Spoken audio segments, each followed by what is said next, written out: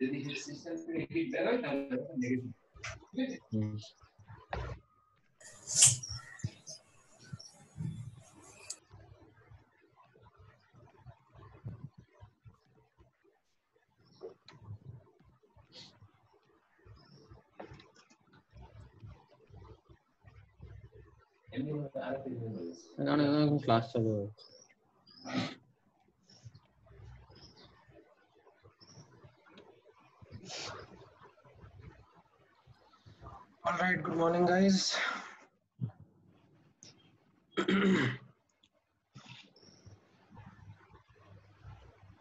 क्या सर आपका demo test कल हुआ होगा ना पनीशा पे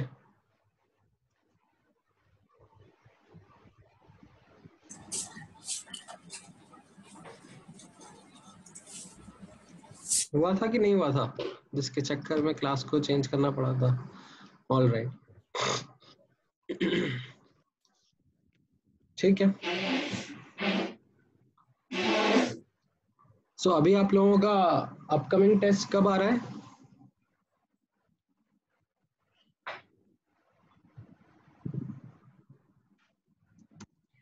ट्वेंटी फ़र्स्ट जून को। ट्वेंटी फ़र्स्ट जून मतलब नेक्स्ट संडे ही हो गया एक तरीके से। हम्म। ऑल राइट एंड उसका सिलेबस क्या क्या है? केमिस्ट्री में तो एक्चुअली एटॉमिक और मोल होगा। पीरियोडिक भी डाला है क्या?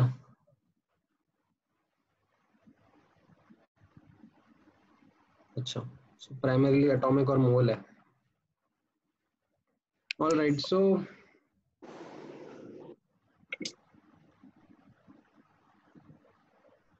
अच्छा गिवन दिस बैकग्राउंड आप लोगों का अब टेस्ट है।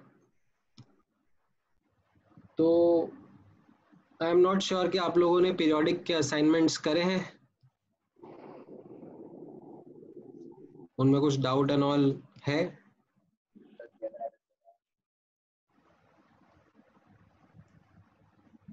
ऑल राइट right, चलो अगर कर लिए हैं तो अच्छी बात है। तो मैं ऐसा सोच रहा था कि थोड़ा सा टाइम पीरियोडिक के डाउट्स डिस्कस कर लेते that was the primary agenda of the lecture and then उसके बाद इफ़ यू वांट तो ऐसे कुछ क्वेश्चंस मोल और एटॉमिक कॉन्सेप्ट के मैं आप लोगों के साथ में डिस्कस कर लेता हूँ। ठीक है? Mole atomic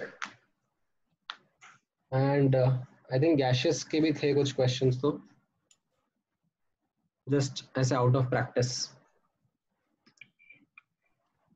ठीक है।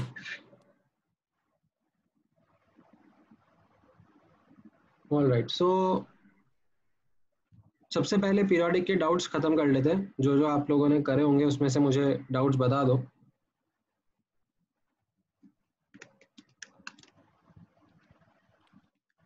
बुकलेट के तो हम लोगों ने डिस्कस कर ही लिए थे। बुकलेट में भी अगर कुछ है तो लेट मी नो अदरवाइज़ हम लोग असाइनमेंट के डाउट्स पहले डिस्कस कर लेते हैं। Right right? इनमें से कौन से असाइनमेंट में कौन सा क्वेश्चन है, वो आप मुझे बता देना।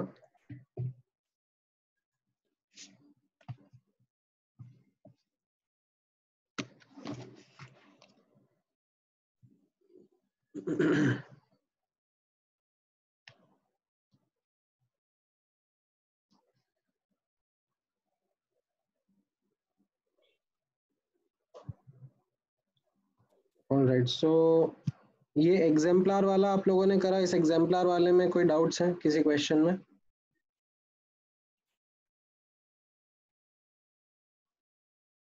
एनसीईआरटी के पब्लिश्ड ऑब्जेक्टिव टाइप क्वेश्चंस रहते हैं ये। कोई भी चैप्टर आप कर रहे हो तो उसके बाद इनको ज़रूर कर लिया करो एक बार। बेसिक बेसिक आइडियाज़ लग जाएँगे।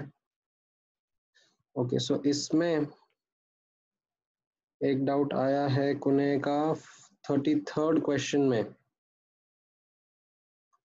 First member of each group of representative elements S and P shows anomalous behavior.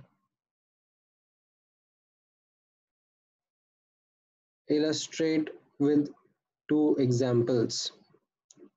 So इसमें S block का first member तो actually hydrogen होगा ठीक है हम लोग इंक्रीजिंग एटॉमिक नंबर में जा रहे हैं तो हाइड्रोजन होगा अब एस ब्लॉक में टिपिकली मेटल्स रहते हैं So compared to that, hydrogen shows quite a different behavior.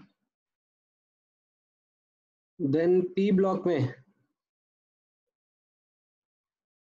the first member could be helium if we go by the increasing atomic number and uh, as compared to the general tendency of p block elements to act as non metals and uh, you know gain electrons helium shows inert behavior so that should primarily illustrate the anomalous behavior of the first member of these groups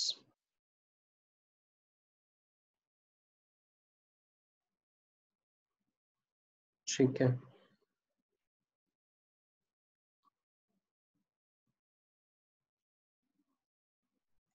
well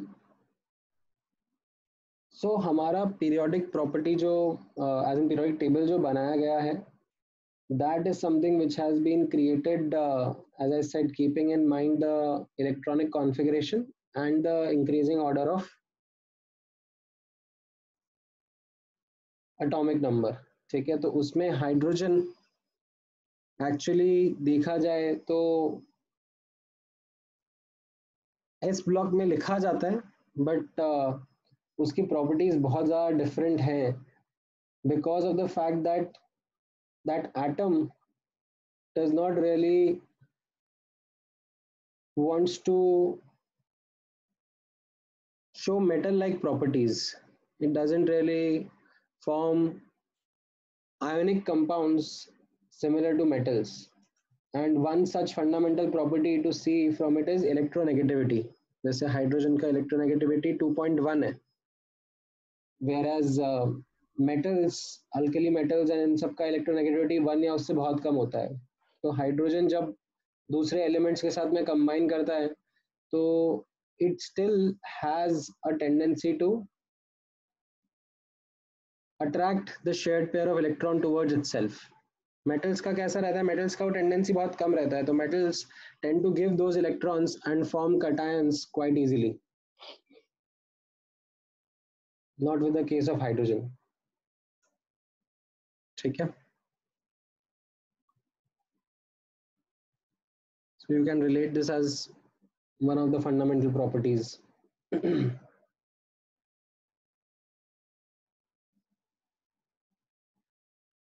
उसको अगर आप और detail में जाना चाहोगे तो you can say that the nuclear charge experienced by the outer electron is still sufficient or significant for it to not just lose the electron away.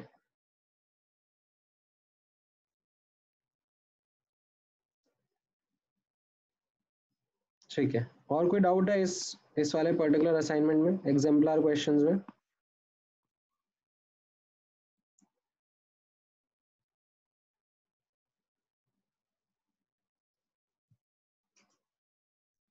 ठीक है then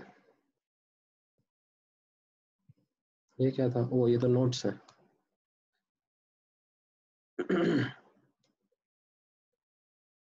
okay so there is a conceptual doubt from chinmay um, for chalcogens why does oxygen gas has lowest electron affinity then other elements in the group and why does sulfur has maximum electron affinity down the group So, okay. Now, दोनों questions को अगर हम अलग अलग करके break करें, ये मैंने आप लोगों को पहले बताया भी था।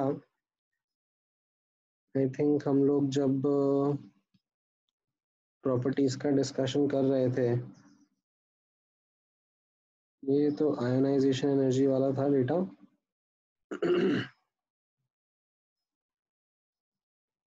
इलेक्ट्रॉन गेन एंथैल्पी का डेटा था क्या इसमें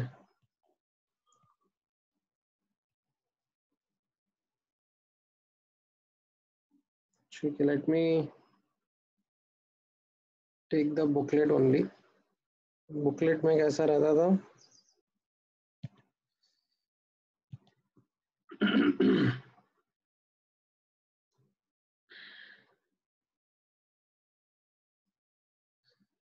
अगर आप इलेक्ट्रॉन गेन एंथैल्पी का डेटा देखोगे तो आपको कुछ चीज़ें समझ में आएँगी।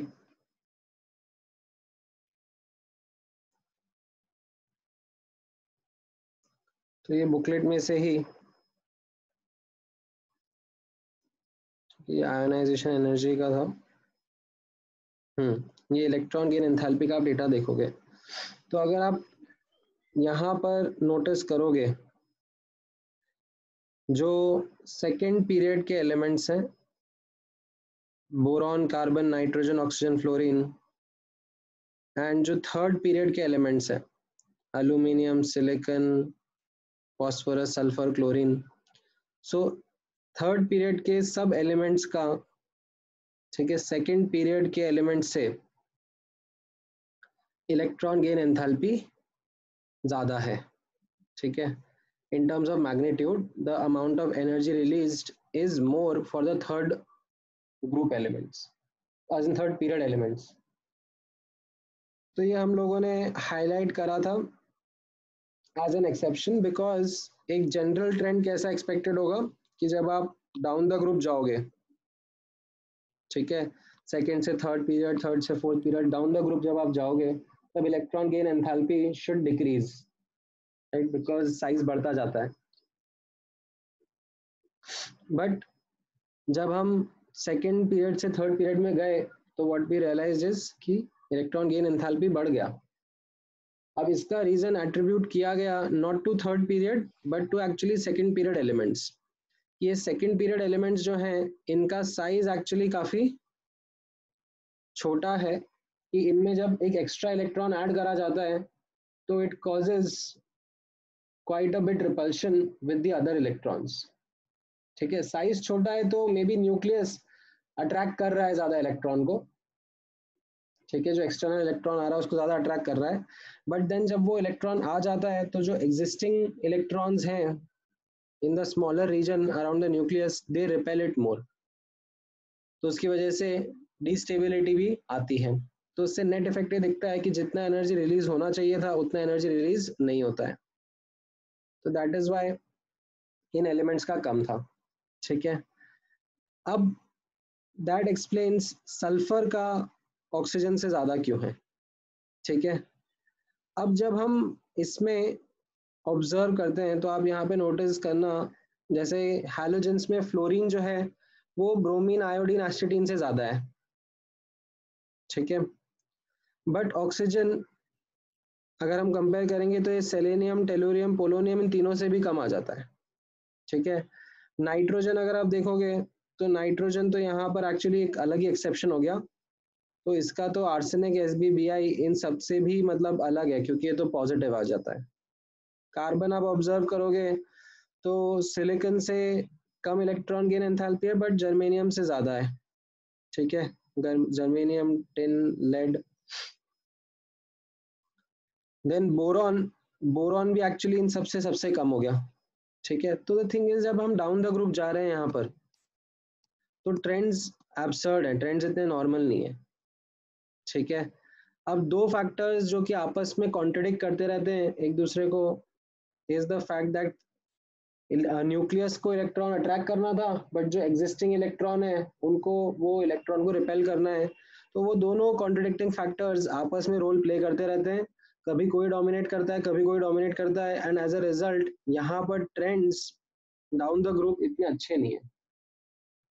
तो अब आपसे ऐसा एक्सपेक्टेशन नहीं है कि आप सारे के सारे ट्रेंड्स ध्यान रखो, ठीक है? इसमें जो एक्सपेक्टेड ट्रेंड्स हैं, जो कि आप जब टेक्स्ट बुक्स पढ़ते हो, उनमें जो इम्पोर्टेंट हाईलाइट्स होते हैं तो उसमें सबसे इम्पोर्टेंट तो ये हाईलाइट करा जाता है कि सेकेंड पीरियड से थर्ड पीरियड जाते हैं तो इलेक्ट्रॉन गेन एंथैल्पी बढ़ रहा था। ठीक है, घटने की जगह बढ़ गया था। ये एक इंपॉर्टेंट पॉइंट आप ध्यान रखोगे, ठीक है which makes chlorine as the most और the highest electron gain enthalpy element ठीक है। देन डाउन द ग्रुप आपसे एक ट्रेंड एक्सपेक्टेड है हेलोजेंस का, वो आप डेफिनेटली याद कर लो, ठीक है, कि फ्लोरीन क्लोरीन ब्रोमीन आयोडीन में क्लोरीन सबसे ज़्यादा है, उसके बाद फ्लोरीन ब्रोमीन आयोडीन है, ठीक है। ये भी बहुत कॉमनली आपसे एक्सपेक्टेड होता है। Then as an additional information ठीक है थोड़ा सा और एक एक्स्ट्रा स्टेप आगे बढ़ने के लिए मैंने आपको ये ऑक्सीजन फैमिली के बारे में भी बोला है कि इसका भी ट्रेंड एक बार के लिए ध्यान रख लो। ठीक है, जो ऑक्सीजन है that is actually the least in the entire group ठीक है एंड उसमें हो सकता है जो इलेक्ट्रॉन आ रहा है, उसको इतना रिपल्शन फेस करना पड़ रहा है, जिसकी वजह से उसका overall electron gain enthalpy comes out to be the least that's it इससे ज़्यादा डिटेल में हमारे पास एक्सप्लेनेशन नहीं है। ठीक है?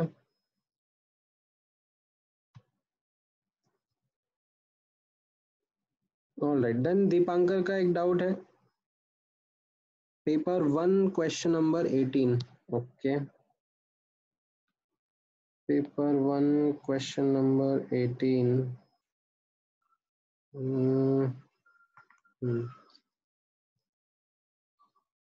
Paper one मतलब ये फुल टेस्ट वन कह रहे होगे ना?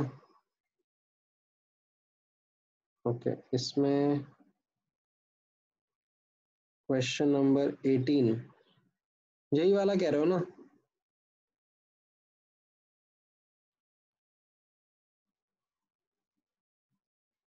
तो इसमें आप नाइन्थ पीरियड में कैसे लिखोगे? ये अपन पहले भी देख चुके हैं।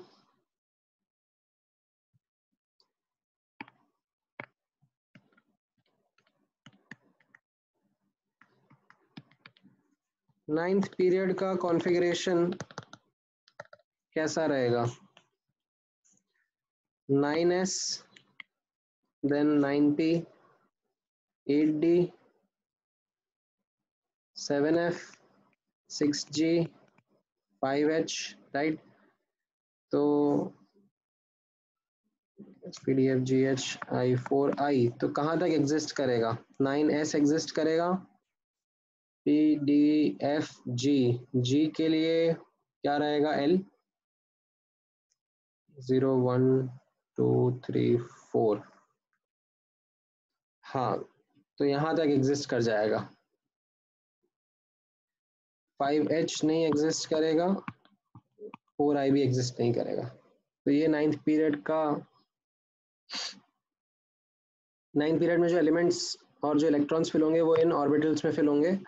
अब इसमें ऐसा बोला जा रहा है क्वेश्चन में दैट uh, एक ऑर्बिटल मैक्सिमम तीन इलेक्ट्रॉन होल्ड कर सकता है।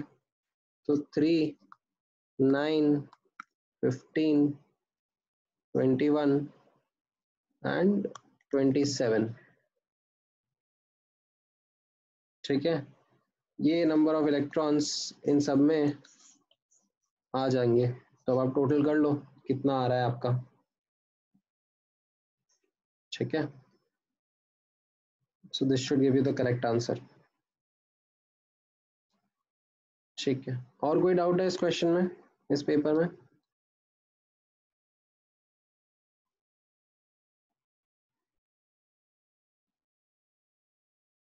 और किसी असाइनमेंट में? आपने असाइनमेंट अच्छा पेपर वन में, ये तो अभी हमने डिस्कस कर लिया। पेपर टू में? फुल टेस्ट टू में? इसमें कोई डाउट हो?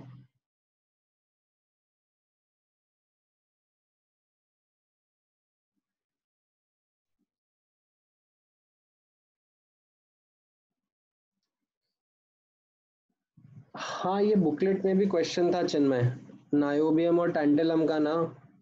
मतलब अब ऐसा है कि ये मतलब ऐसा नहीं था कि आपसे एक्सपेक्ट करा जा रहा है कि अभी आप याद कर लोगे। ये मैंने आपको उस टाइम पे बताया था, जब हम लोग आई थिंक लास्ट क्लास में किसी ने तो पूछा था ये। नायोबियम और टेंटलम का। ये एक्चुअली जब हम लोग अटोमिक साइज़ का डिस्कशन कर रहे थे ना, तब तो हमारे सामने आया था ये। यहाँ पर ये ऑब्ज़र्व करो। कि 4D और 5D में कैसा होता है? लेंथेनाइट कॉन्ट्रैक्शन हो जाता है। 4D से जब हम 5D सीरीज़ में जाते हैं तो साइज़ जितना बढ़ना चाहिए था, वो नहीं बढ़ता because of the poor shielding of 4f electrons the z effective increases and the size is similar to that of 4D के elements.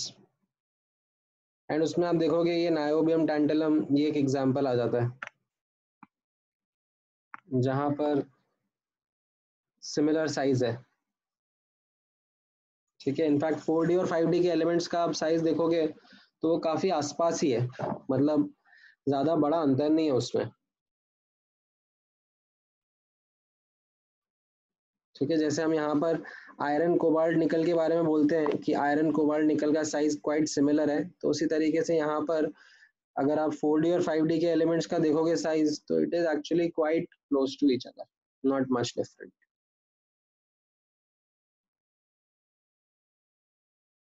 ठीक है?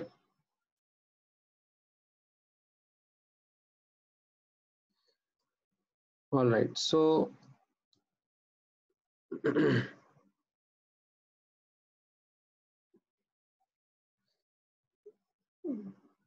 कोने पीरियोडिक प्रॉपर्टीज़ टेस्ट वाला असाइनमेंट मतलब ये सारे ही तो असाइनमेंट है मतलब कुछ नंबर बताओ ना इनमें से कौन सा क्वेश्चन नंबर 49 पूछ रहे हो आप। इसी में पूछ रहे हो 49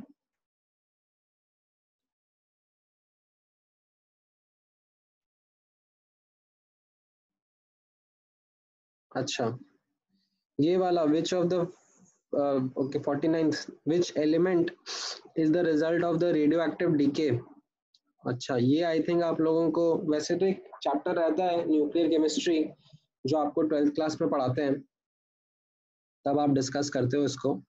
पर इसका कॉन्सेप्ट बहुत ही सिंपल है मतलब just number of protons and number of neutrons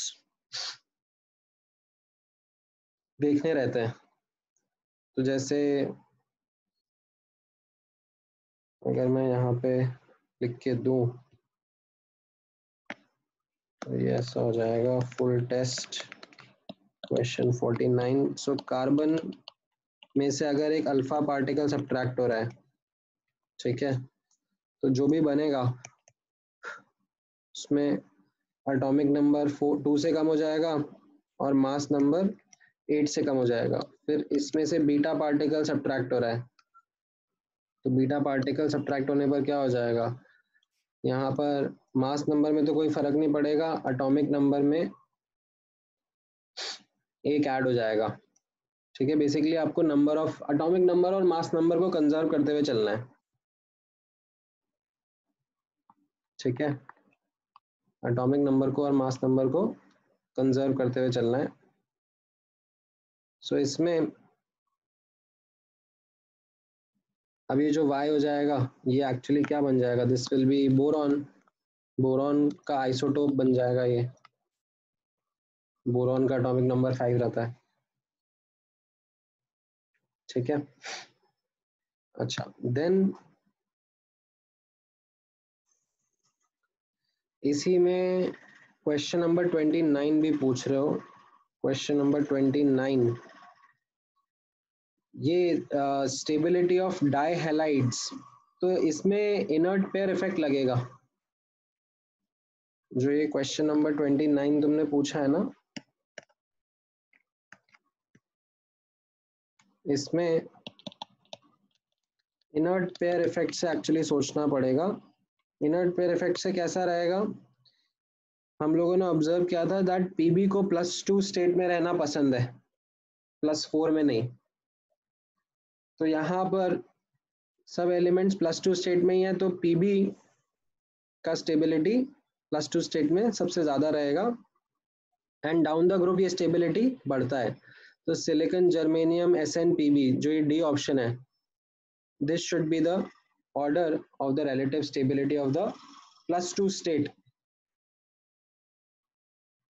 in the carbon family ठीक है? देन इसी में क्वेश्चन 58 वापस से इसमें out of the following which of the one is the most unstable so इसमें अब अगर देखा जाए तो सारे के सारे प्लस फोर स्टेट में है। ठीक है? लेड के ही कंपाउंड है। ठीक है? सब में प्लस फोर स्टेट में है। ठीक है तो they really do not want to be in the plus four state ठीक है? अब इसमें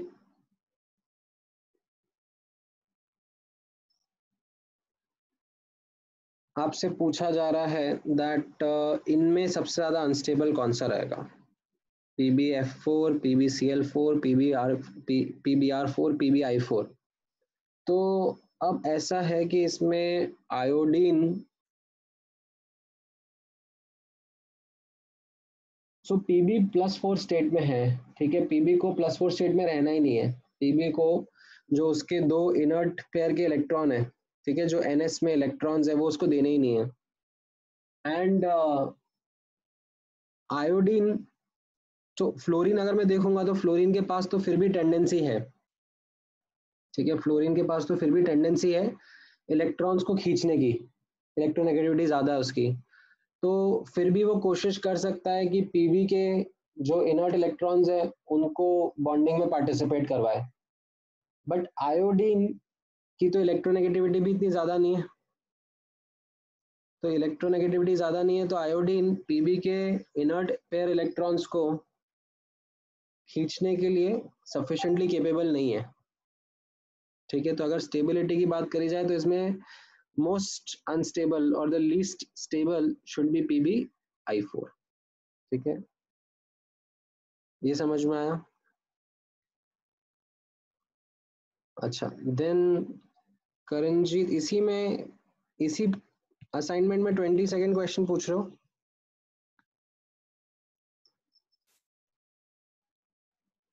अच्छा कोई दूसरा असाइनमेंट है। ठीक है, दूसरे असाइनमेंट पे आते हैं एक बार। पहले एक बार इसी में देख लो, इसी में किसी को और कुछ और पूछना है? Any other question they would want to ask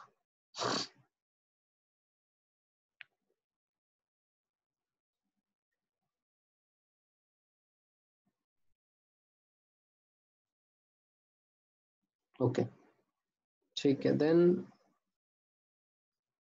इसके बाद ये टेस्ट थ्री था। फुल टेस्ट थ्री इसमें कोई डाउट है किसी को?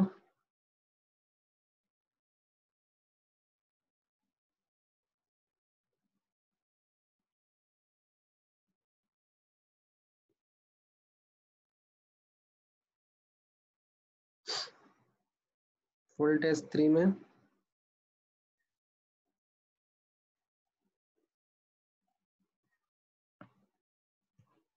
हो सकता है।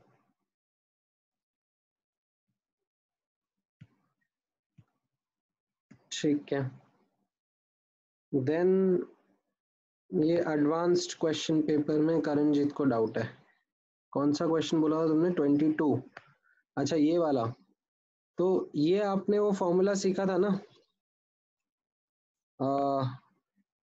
एडवांस टेस्ट वाला जो था फॉर्मूला वो ये था ना percentage ionic character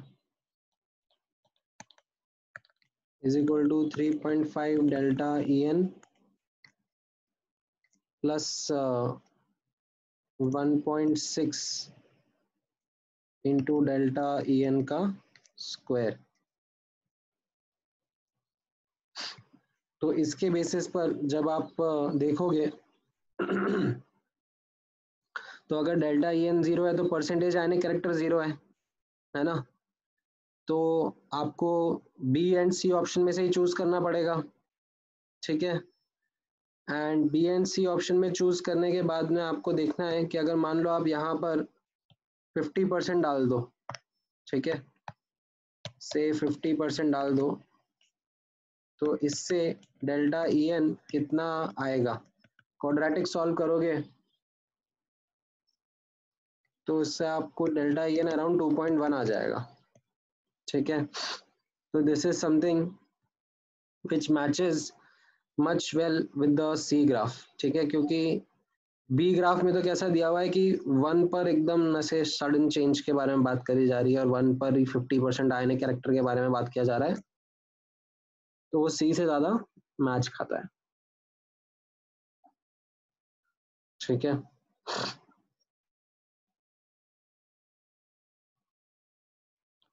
हो सकता है यार मुझे एक्चुअली पूरा फॉर्मूला याद नहीं है।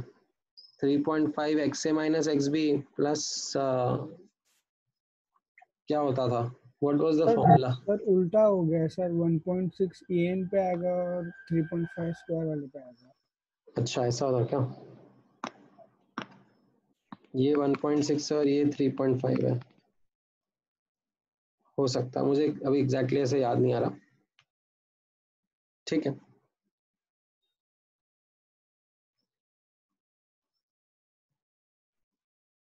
अच्छा और कोई डाउट था इस वाले पेपर में? एडवांस्ड वाला जो क्वेश्चंस थे?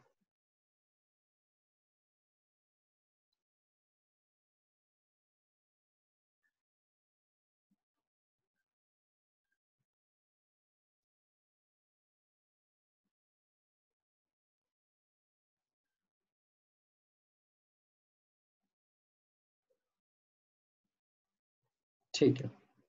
देन ये जो एनसीईआरटी बेस्ड टेस्ट था इसमें से कुछ doubt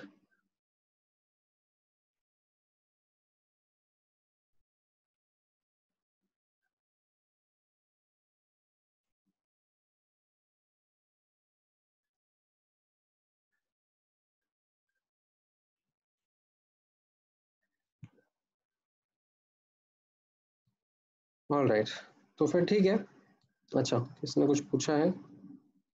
H2O is neutral or amphoteric? Amphoteric. H2O is amphoteric.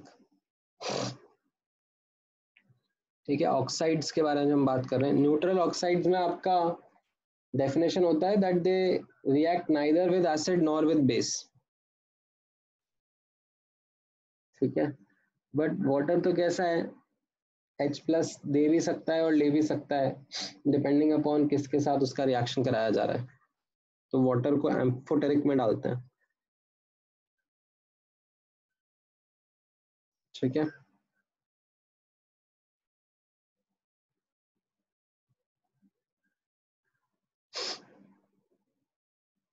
किस किस जगह पर?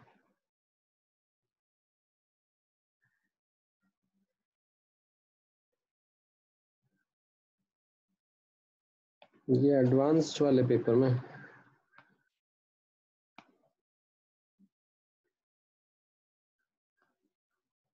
कहाँ पर है? एनसीईआरटी बेस्ड एनसीईआरटी बेस्ड में।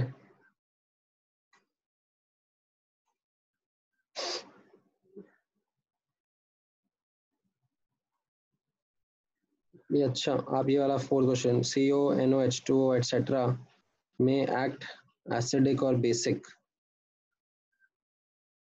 हाँ तो इसमें एच टू ओ नहीं करेंगे। H two O can act as acidic और basic in fact it is amphoteric CO and NO they are neutral but H2O is amphoteric नहीं सर नीचे। अच्छा और नीचे। हाँ सर इसमें लास्ट वाला। अच्छा। H2O नहीं H2O को एम्फोटेरिक ही डालना। H2O को न्यूट्रल मत डालना। ओके सर ठीक है। ये रहता है मतलब कई जगह पर ऐसा कंफ्यूजन टाइप रहता है। But I would recommend H2O को एम्फोटेरिक में ही डालो।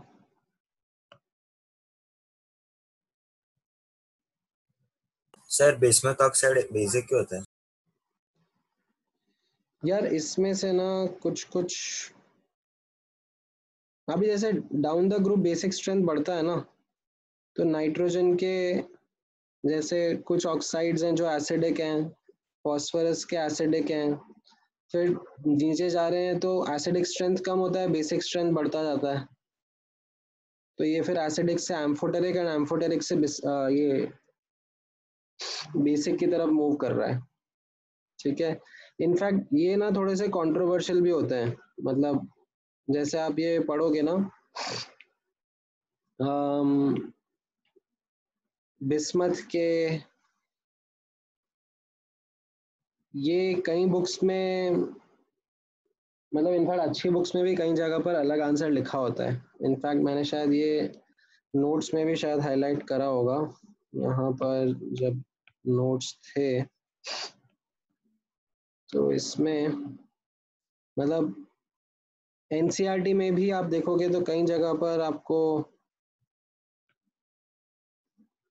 मिलेगा। कहाँ पर गए थे नोट्स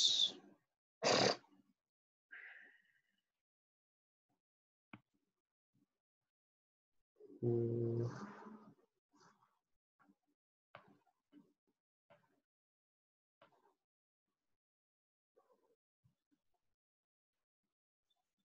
हम्म। तो ये आर्सेनिक के और बिस्मथ के ये थोड़े कंट्रोवर्शियल ही रहते हैं। मतलब ये कई जगह पर इनको एम्फोटेरिक बोला जा रहा है, कई जगह पर they are categorized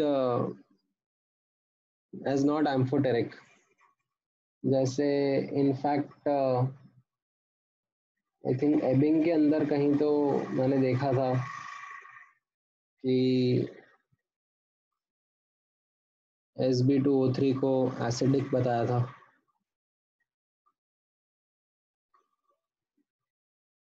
ठीक है, कई जगह पर बेसिक तो ये थोड़े से कंट्रोवर्शियल रहते हैं।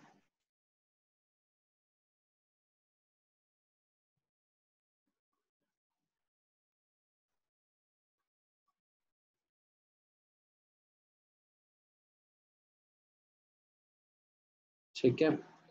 ये जो ऊपर वाले हैं इनके बारे में you can be very sure beryllium aluminium zinc SNO, SNO2 and PbO and PbO2 they for sure are amphoteric. ठीक है? अभी ये आर्सेनिक सर गैलियम के ऑक्साइड्स हाँ? गैलियम के ऑक्साइड्स भी होते हैं। गैलियम का होगा ना यहाँ पर इसमें जो वो था पीरियोडिक टेस्ट उसमें गैलियम के ऑक्साइड के बारे में इंफॉर्मेशन दिया था क्या? हाँ सर उसमें एम्फोटेरिक दिया है। गैलियम ऑक्साइड को एम्फोटेरिक बोला जा रहा है। हम्म, हो सकता है।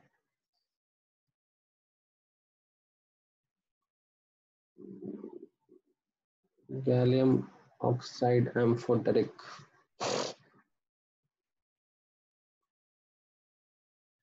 हो सकता है। तो इसीलिए मैंने एक्चुअली वहाँ पर एक kind kind of of, uh, इसमें एक डिटेल्ड इंफॉर्मेशन प्रोवाइड करी हुई है। ठीक है? ये डिफरेंट डिफरेंट ऑक्साइड्स के बारे में।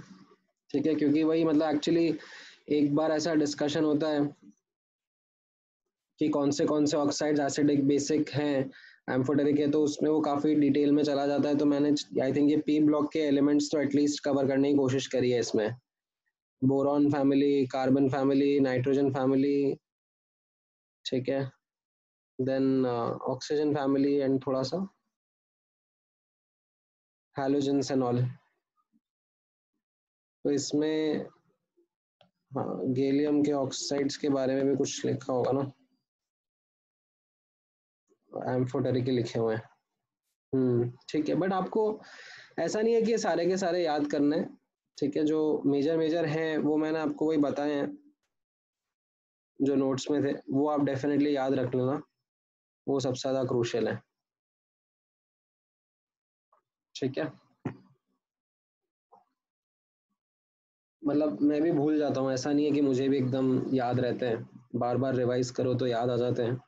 बट भूल जाते हैं इसमें।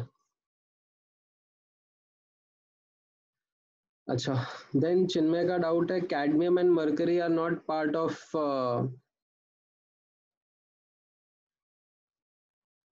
transition elements तो उसमें ऐसा था ना कि डी टेन कॉन्फ़िगरेशन होता है। जब ये जो कंपाउंड्स हैं ये जो एलिमेंट्स हैं जिंक कैडमियम और मरकरी इनके टिपिकली जो कंपाउंड्स रहते हैं, उसमें इनका प्लस टू ऑक्सीडेशन स्टेट रहता है, ठीक है? प्लस टू बैलेंस ही रहता है। तो प्लस टू मतलब दो इलेक्ट्रॉन लूज करने के बाद में इनका कॉन्फ़िगरेशन डी टेन आ जाता है। एंड जो डी टेन है, उसमें कोई अनपेड इलेक्ट्रॉन ही नहीं रहता।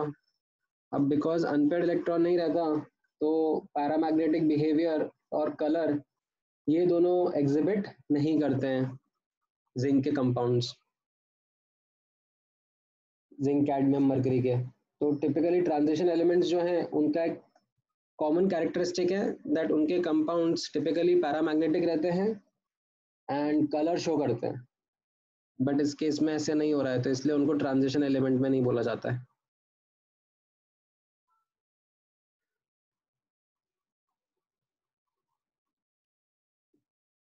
अच्छा अनुराग का डाउट है, gallium oxide is a stronger Lewis base देखो, जो आपका स्टेटमेंट है ना, अनुराग, वो कैसा है? It is a comparative statement stronger and weaker तो उसमें तो हम लोग बोल सकते हैं ना स्ट्रॉन्गर एंड वीकर के केस में। यहाँ पर एक्चुअली जो डिस्कशन हो रहा था, वो acidic basic and amphoteric nature of oxide के बारे में बात हो रही है तो उसमें गैलियम ऑक्साइड हो सकता है कि एसिड्स के साथ भी रिएक्ट कर रहा हो एंड बेसिस के साथ भी रिएक्ट कर रहा हो। इसलिए उसका एम्फोटेरिक नेचर असाइन किया हुआ है।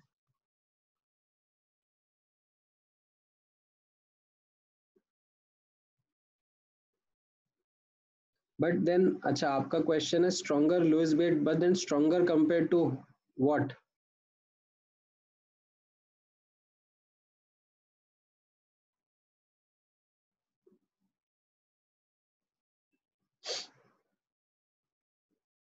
अगर आप एब्सोल्यूट वर्ड यूज़ कर रहे हो स्ट्रॉन्ग तो वो गलत है।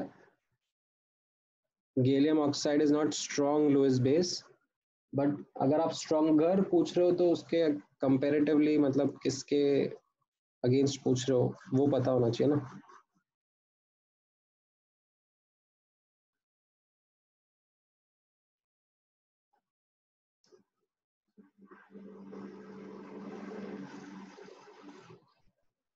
ठीक है। और कोई डाउट है? Any other doubt if not तो फिर मैं कुछ क्वेश्चंस दे देता हूँ आप लोगों को। आप लोग ट्राई करो। Let me see if I can find that यहाँ पर होना तो चाहिए।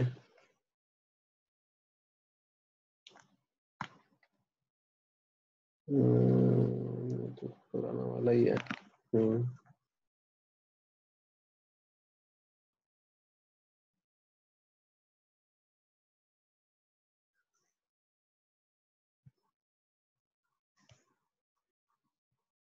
ये पहला वाला छोड़ दो।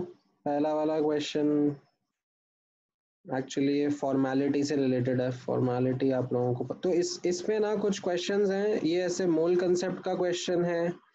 फिर ये अटोमिक स्ट्रक्चर का है एंड देन कुछ गैशियस स्टेट के हैं। ठीक है।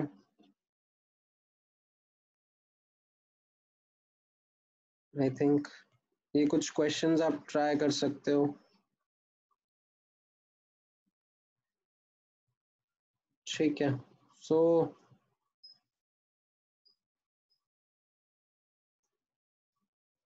so, ठीक है थोड़े से डिफ़िकल्ट क्वेश्चन ही हैं। ठीक है they are not quite easy once ये जस्ट ऐसे मैं कॉन्सेप्ट रिवाइज कराने के हिसाब से आप लोगों को बता रहा हूँ। ठीक है otherwise if you ask me मतलब जैसे फॉर एग्जांपल मैं आपकी जगह होता और uh, मैं एंटिसिपेट करना चाह रहा होता कि पेपर क्या होगा कैसा होगा तो let me be very clear with you ठीक है? वैसे तो मैंने पेपर देखा नहीं है तो मुझे पता नहीं कि पेपर क्या है, कैसा है। बट क्योंकि ये जो पेपर हो रहा है, ये अक्रॉस बैचेस हो रहा है ना। मतलब three year as well as जो अभी इलेवेंथ में ज्वाइन करे हैं राइट सबके लिए ही हो रहा है? इस बारे में अच्छा सिर्फ़ थ्री ईयर और फ्लैगशिप के स्टूडेंट्स के लिए हो रहा है क्या?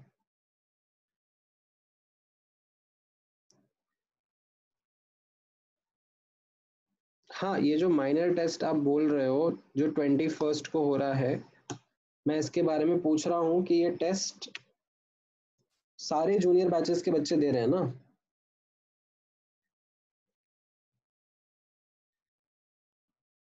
और इज़ इट ओनली जो थ्री ईयर बैचेस में है, बस वही दे रहे हैं?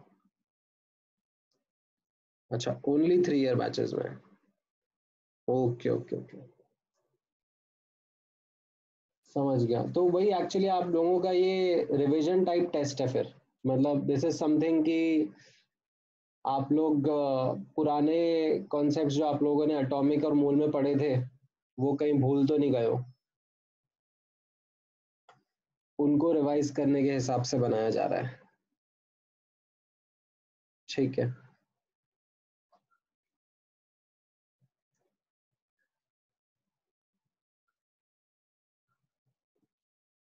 सो ऑनेस्टली पेपर डिफ़िकल्ट नहीं बनाया जाएगा। ठीक है paper would be something more of this nature की do you remember the key concepts that were taught और नॉट उस हिसाब से रहेगा। तो इसमें आप बुकलेट और उसके अराउंड के क्वेश्चन ही सॉल्व करोगे, जो आपने पहले करे होंगे कुछ कुछ डाउट्स रहे होंगे तो you would be in a good position ठीक है? फिर दो तीन क्वेश्चन ऐसे डलेंगे डेफिनेटली ठीक है? हर सब्जेक्ट में। फिजिक्स केमिस्ट्री मैथ्स तीनों में दो तीन क्वेश्चन तो ऐसे डलेंगे, जो कि रैंक डिफ्रेंशिएट करेंगे। ठीक है? तुम ऐसा मान के चलो कि 50 टू 60 परसेंट पेपर इजी होगा।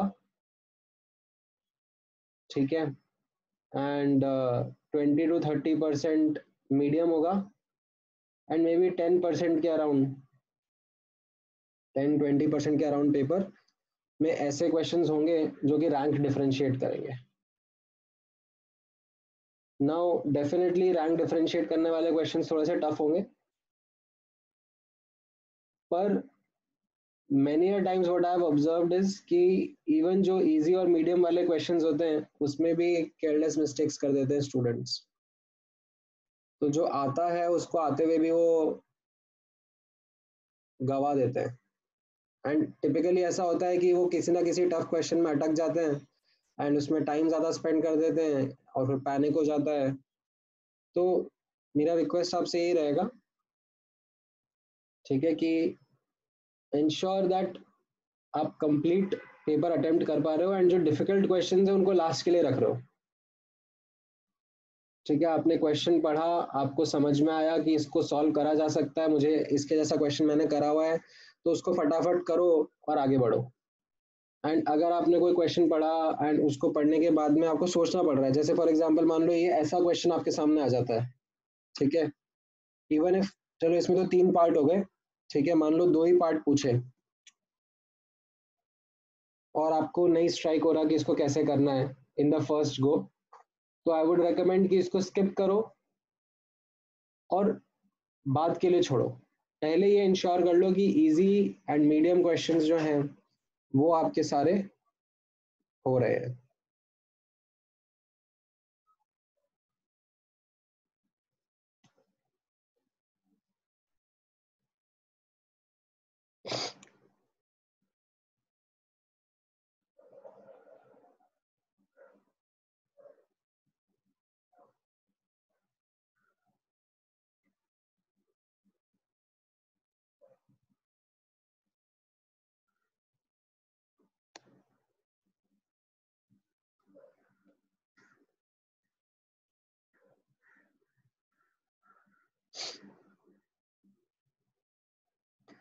अच्छा कोने, आपको कौन सा डाउट था? असाइनमेंट वन में question number twenty six and twenty five अच्छा तो अच्छा तो मैं ऐसा करता हूँ। गाइज़ आप लोग ऐसा करो ना, फिर इस क्वेश्चन का स्क्रीनशॉट ले लो।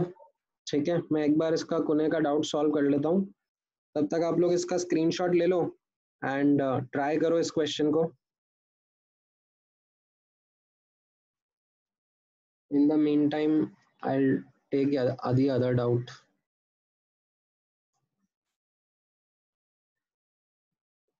question number 26 and 25 from assignment 1 ये असाइनमेंट वन यही कह रहे हो ना तुम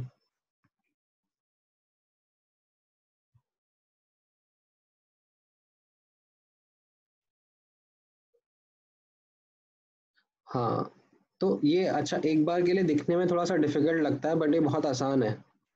ठीक है? इसमें आप नोटिस करना, कुने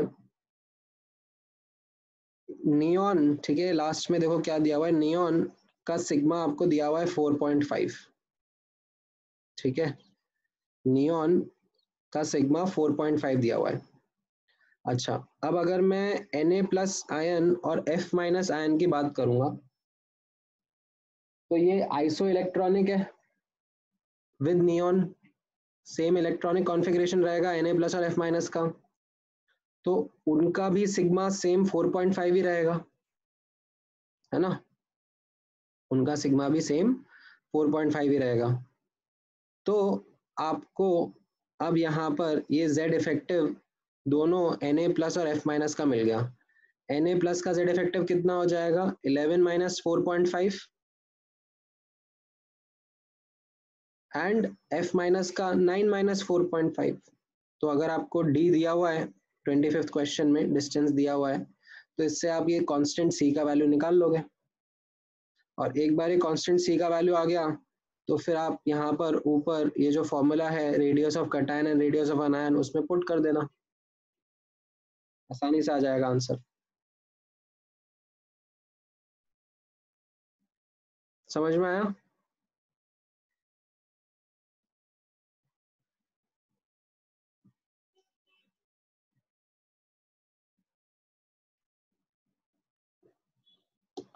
All right.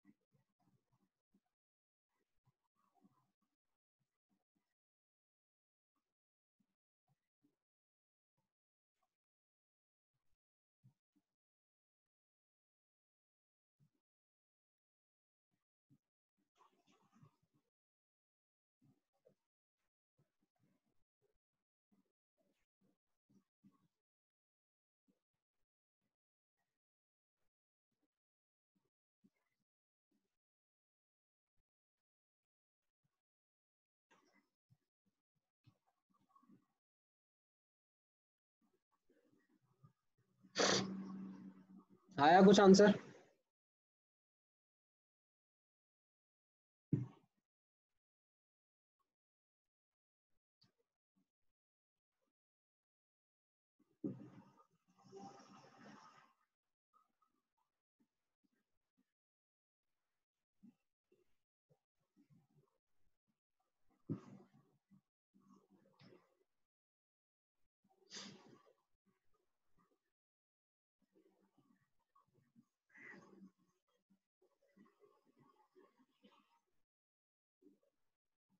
अच्छा एक बार चेक कर लेते हैं।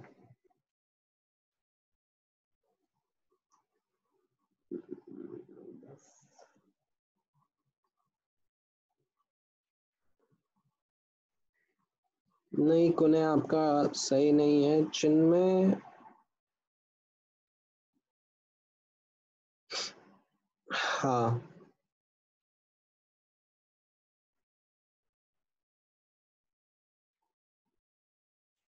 चिन्मय आपका सेकंड पार्ट का ठीक है। बट फ़र्स्ट पार्ट का भी बताओ।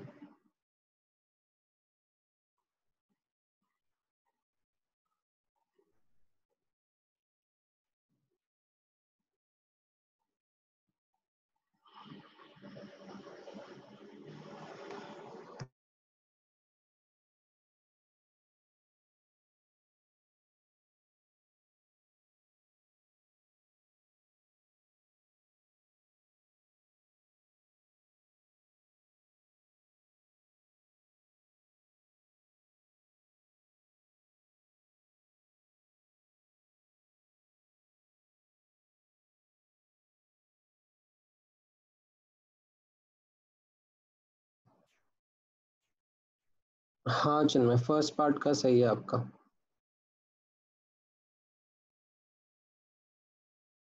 नहीं नहीं निकिता फ़र्स्ट पार्ट का सही नहीं है।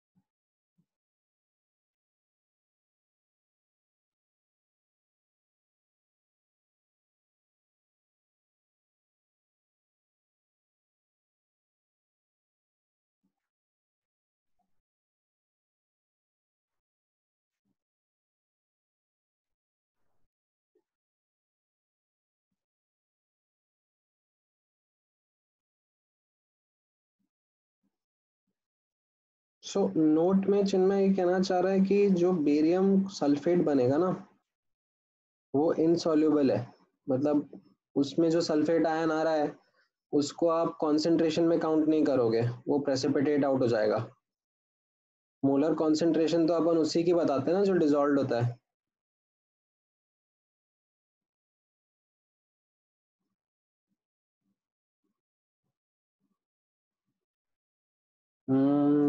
आकांक्षा पहले पार्ट का आपने नहीं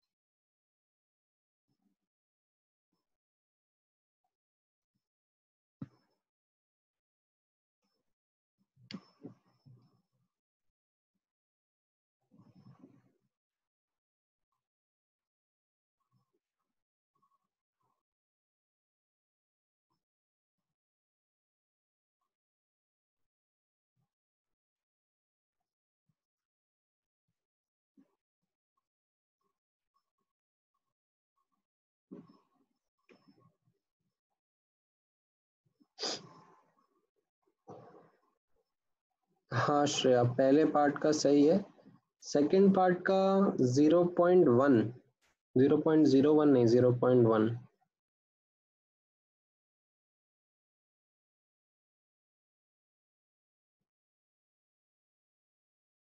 हो सकता है जिनमें थर्ड पार्ट का मेरे को आंसर ऐसे याद नहीं आ रहा है बट मैं आपको एक बार करके दिखा देता हूँ। सो so, यहाँ पर कैसा रहेगा?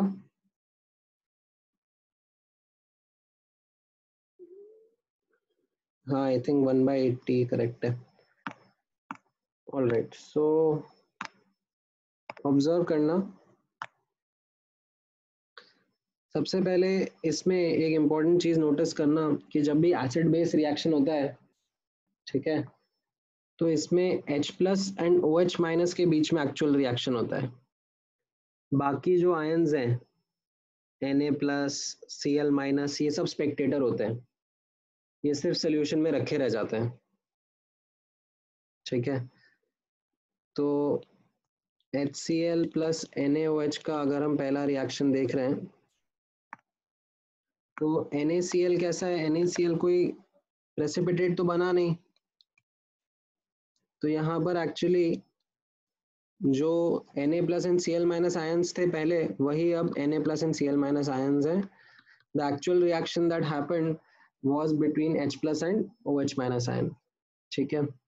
अब इसके पाँच मिली मोल्स हैं और इसके बीस मिली मोल हैं। इनका रिएक्शन करा दिया। लिमिटिंग रिएजेंट का कॉन्सेप्ट लगा दिया। तो उससे हमें बाकी सबके मिलीमोल्स पता पड़ गए आफ्टर रिएक्शन कितने होंगे। ठीक है? अब इसमें नोटिस करना दैट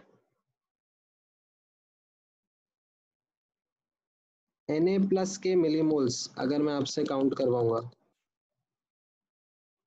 Na प्लस के millimoles will be the same 15 plus 5 that is 20 NaOH से आ रहे होंगे एंड NaCl से आ रहे होंगे। ठीक है?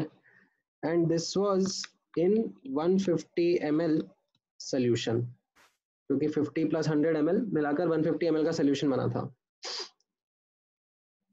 अब इसी को टू थर्ड ले लिया इसका 100 ml रिजल्टेंट सॉल्यूशन ले लिया ठीक है सो Na plus millimoles in 100 ml solution would be two third of what was original right? So 40 by 3 millimoles आ जाएँगे। एंड इसको अब वापस से न्यूट्रलाइज कर दिया है H2SO4 सॉल्यूशन के साथ में 50 ml H2SO4 सॉल्यूशन के साथ में राइट? सो Na प्लस तो स्पेक्टेटर है। Na प्लस के आयंस कुछ नहीं करेंगे। वो बस सोल्यूशन में पड़े रहेंगे। तो अब अगर मुझसे आप पूछ रहे हो कि Na प्लस का कॉन्सेंट्रेशन कितना है तो मैं आपको क्या बोलूँगा? Total millimoles upon the total volume total volume कितना हो जाएगा? हंड्रेड तो सोल्यूशन का था ही सही प्लस में पचास M L H two S O four का सोल्यूशन डाल दिया। तो this will give you the answer of the Na plus concentration in the final solution ठीक है? सो so ये आपका 40 बाई थ्री अपॉन वन रहेगा। तो ये कितना तो वो ब्रैकेट का मतलब कंसंट्रेशन होता है। हाँ molar concentration square bracket is always molar concentration ना? Square bracket means molar concentration तो आपने कुछ और आंसर दिया था क्या? आपने क्या समझा था? सर मुझे मोल्स लगा। अच्छा नहीं स्क्वायर ब्रैकेट मतलब मोलर कॉन्सेंट्रेशन राइट सो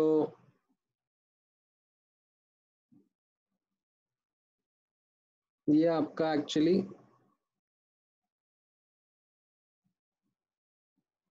ऐसा 0.088 टाइप्स हो जाएगा, है ना? Four divided by 45 you can say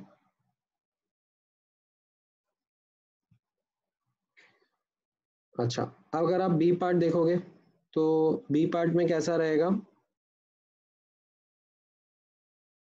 ये तो ए पार्ट था।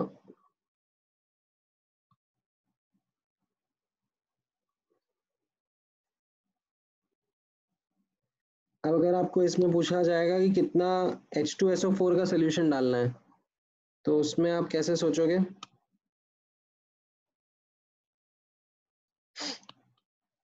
दैट यहीं से अगर मैं कैलकुलेट करूँ ठीक है? NaOH को न्यूट्रलाइज करने के लिए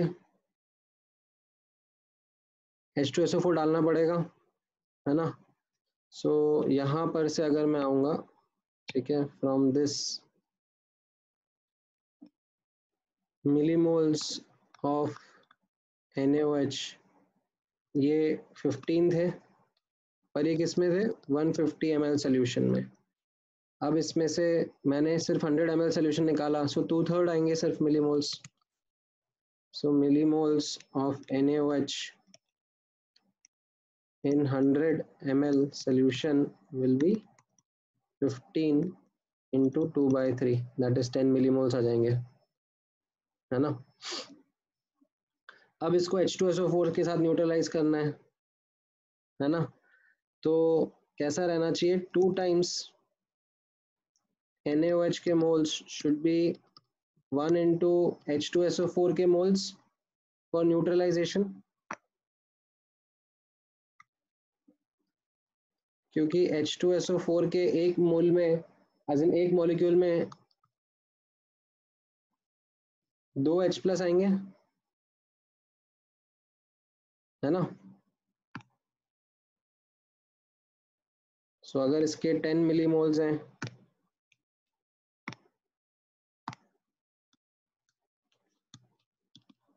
तो H2SO4 को फाइव मिली मोल्स ही लगेंगे in fact rather I should use the opposite way इस तरफ़ टू यूज़ करना चाहिए।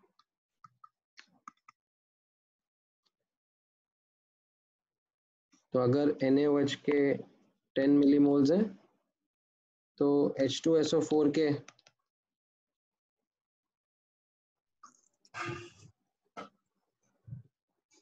millimoles required is just 5, right so 5 should be equal to H two S O four का concentration into volume which is 50 so इससे H two S O four का concentration required आपको मिल जाएगा 0.1 पॉइंट वन मोलर ठीक है? तो ये आपका सेकंड पार्ट का आंसर हो गया। अब थर्ड पार्ट में आपको बोला जा रहा है, जो ये सी पार्ट है।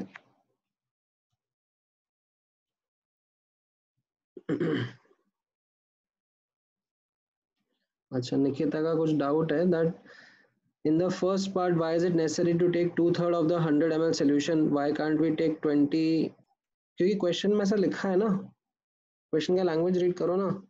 ये जो रिएक्शन करा दिया, उसके बाद इसमें से 100 ml सैंपल का फिर फर्दर रिएक्शन करा रहे हैं। तो ये 100 ml सैंपल क्वेश्चन की लैंग्वेज में है। ठीक है? अच्छा अब इसके बाद क्या बोला जा रहा है? दैट एच टू फोर डालने के बाद में इस सोल्यूशन में बेरियम क्लोराइड डाल रहे हैं। ठीक है? तो यहाँ पर प्रेसिपिटेशन रिएक्शन एक्चुअली किसके बीच में रहेगा? Sulphate and barium two plus ion के बीच में। ये प्रेसिपिटेशन रिएक्शन रहेगा। ठीक है? ये आपने कितना डाला? 50 into zero point one five millimoles ठीक है? क्योंकि सल्फेट कैसा रहेगा? सल्फेट भी वापस आपका जब न्यूट्रलाइजेशन रिएक्शन हो रहा था तो सल्फेट आयन रिएक्शन में पार्ट नहीं करेगा। सल्फेट आयन जस्ट ऐसे सोल्यूशन में प्रेजेंट रहेगा। तो वो एक्चुअली ओरिजिनल जितना था, उतना ही मिलीमोल्स यानी कि पाँच मिलीमोल्स प्रेजेंट रहेगा। And barium two plus ions कितने डाले आपने? 2.5 मिलीमोल्स तो क्या हो जाएगा? ये लिमिटिंग रिएजेंट है, ये पूरा रिएक्ट हो जाएगा, इसके 2.5 मिलीमोल्स बन, बच जाएँगे, और ये तो सॉलिड रहेगा। इसको हम लोग काउंट नहीं करेंगे। Right so this is not counted in dissolve species तो अगर आपसे कोई पूछेगा SO4 2 माइनस का फाइनल कॉन्सेंट्रेशन कितना रहेगा? तो आपका क्या रहेगा आंसर 2.5 मिलीमोल्स और वॉल्यूम कितना हो गया? अभी 150 में और 50 एम ये डाल दिया, है ना? तो ये आपका कितना आ जाएगा? 2.5 point five divide by two hundred यानी कि one by eighty molar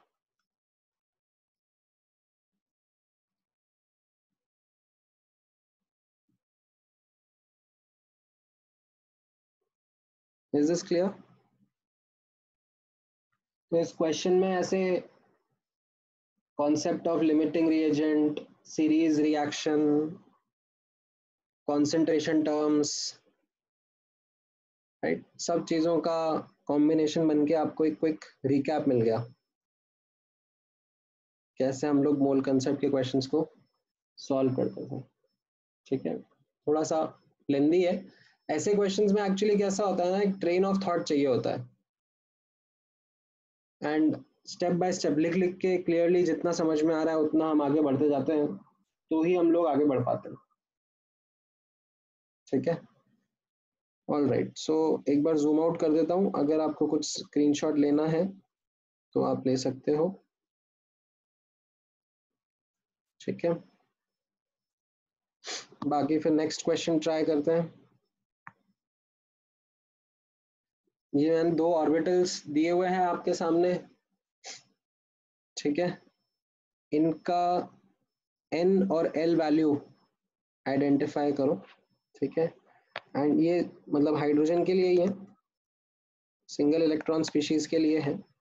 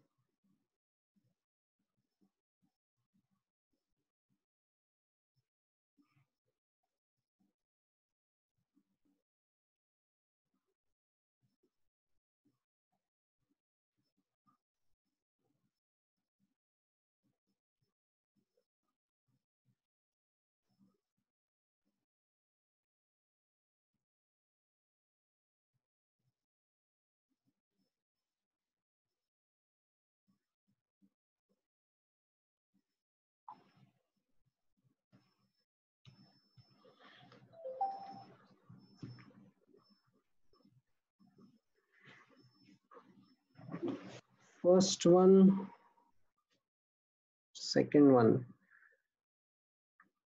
Okay um हाँ जिनमें आपका आंसर सही है फ़र्स्ट वन वाले का।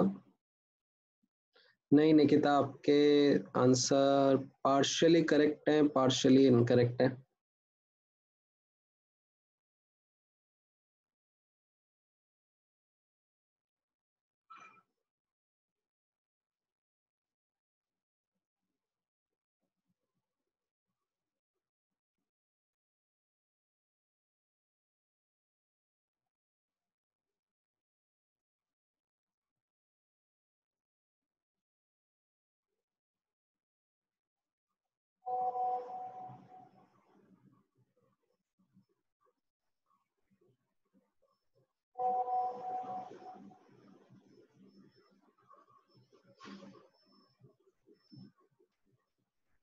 हाँ में।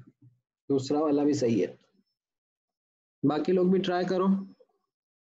बाकी लोगों के लिए एक हिंट है radial nodes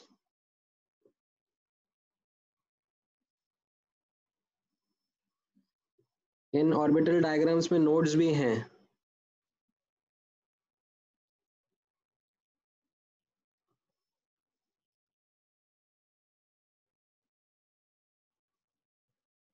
अरे एक्चुअली चिन्मय आपका फ़र्स्ट वाला गलत है, अनुराग तुम्हारा सही है फ़र्स्ट वाला।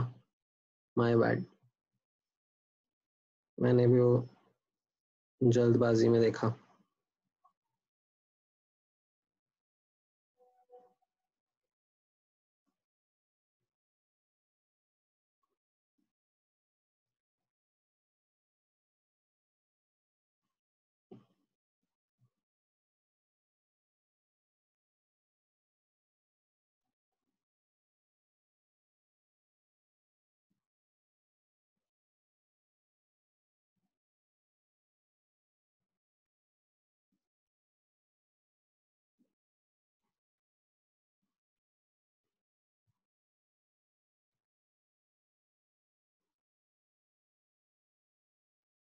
हम्म सो इसमें आप लोगों को आई थिंक अब समझ में आ रहा है।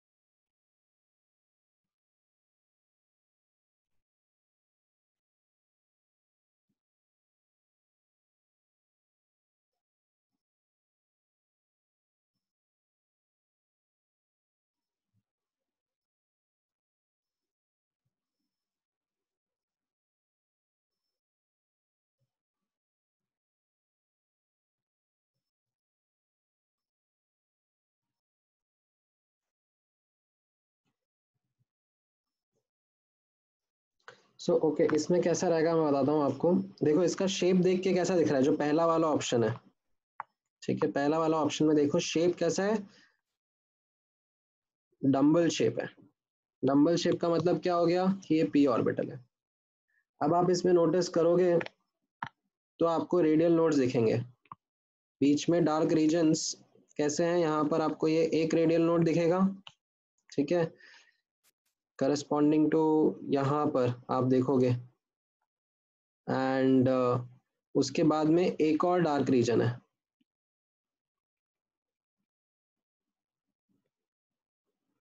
ठीक है? तो यहाँ पर दो रेडियल नोड्स हो गए।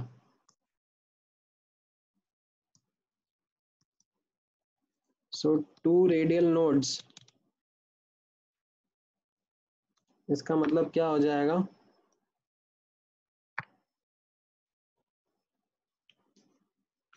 N minus l minus 1 is 2 and p orbital का मतलब था l is 1 तो इससे आपका आ जाएगा ये 4p ऑर्बिटल ठीक है? N की value 2p 3 sorry my bad क्या गड़बड़ कर रहा हूँ मैं अभी? थ्री पी हाँ फोर पी ठीक है? अच्छा देन ये वाला एग्ज़ाम्पल नोटिस करो। इस वाले एग्ज़ाम्पल में कैसा दिख रहा है आपको? ये डबल डम्बल शेप दिख रहा है? डबल डम्बल शेप दिख रहा है मतलब ये डी ऑर्बिटल है। यानी कि एल का वैल्यू टू हो गया। अब इसमें एक डार्क रीजन है बीच में which corresponds to one radial node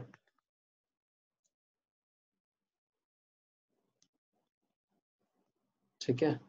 तो ये आपका n minus L minus one is one तो इससे आपका आंसर मिल जाएगा दैट ये फोर डी ऑर्बिटल है।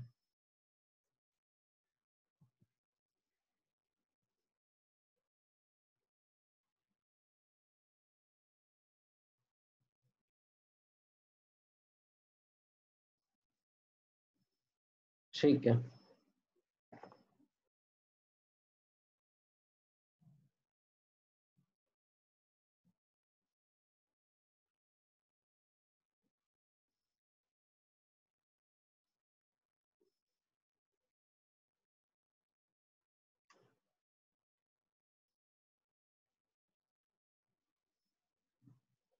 ऑल राइट एक और क्वेश्चन ट्राई करो। चलो। Um, ये वाला बता दो एटॉमिक स्ट्रक्चर का।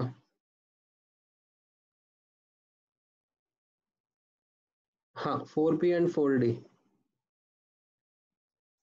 angular nodes है ना यहाँ पर actually angular nodes are the nodal planes मतलब यहाँ पर जैसे ये एक लाइन अगर मैं खींचूँगा तो ये एक नोडल प्लेन था इसका। इसमें ये एक प्लेन और ये एक प्लेन नोडल प्लेन्स थे। बट वो इतना क्लियरली नहीं दिखेंगे। इसमें मेन फोकस रेडियल नोड्स दिखने के ऊपर है। बाकी जो शेप से आप आइडेंटिफाई कर लोगे कि ये कौन सा पी ऑर्बिटल है या डी ऑर्बिटल है।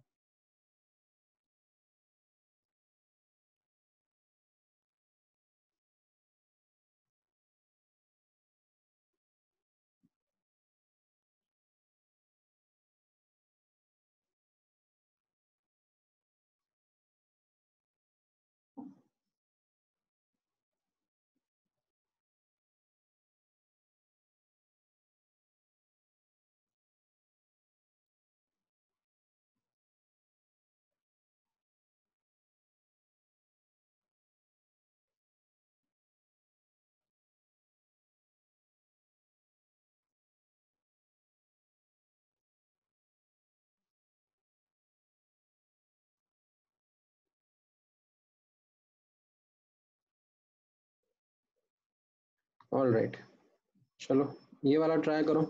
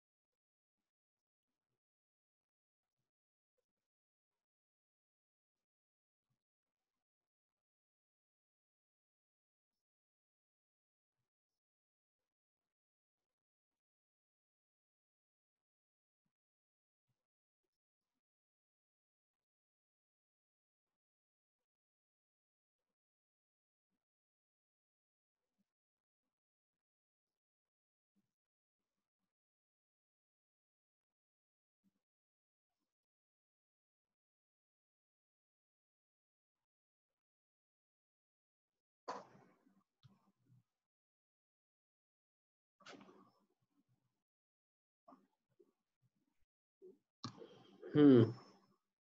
Right.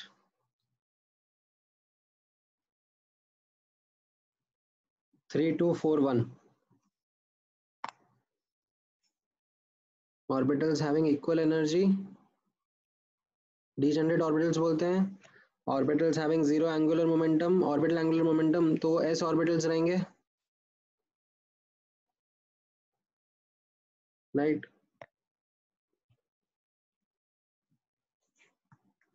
And uh,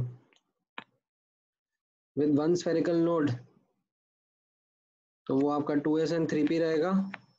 And directional character s orbital में डायरेक्शनल कैरेक्टर नहीं होते इन सब में बाकी में डायरेक्शनल कैरेक्टर होते हैं। ठीक है। ऑल राइट right, चलो ये वाला ट्राई करो।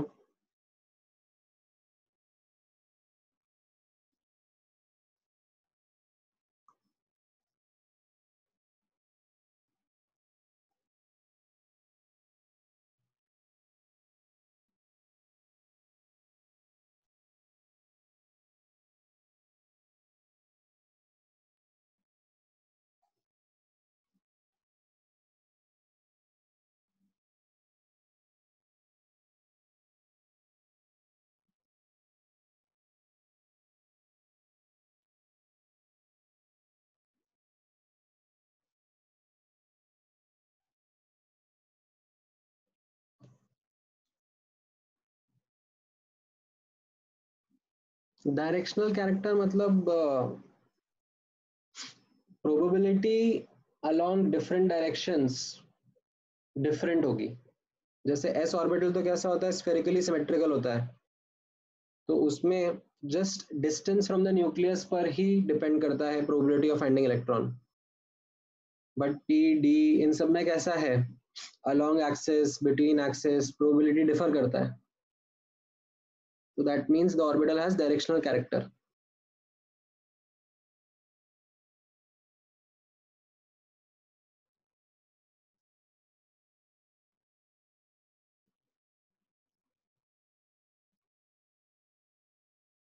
नहीं इसमें वन और मोर देन वन करेक्ट हो सकते हैं शान, शान, शानिया शानिया कैसे प्रोनाउंस कैसे करेंगे तुम्हारा नाम? शानिया ही बोलेंगे ना?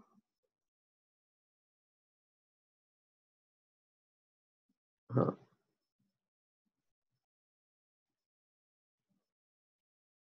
तुम इस क्वेश्चन का बता रही हो कि पिछले वाले क्वेश्चन का बता रही हो? इस क्वेश्चन में there can be one to many mapping ऐसा नहीं है कि वन टू वन मैपिंग हो।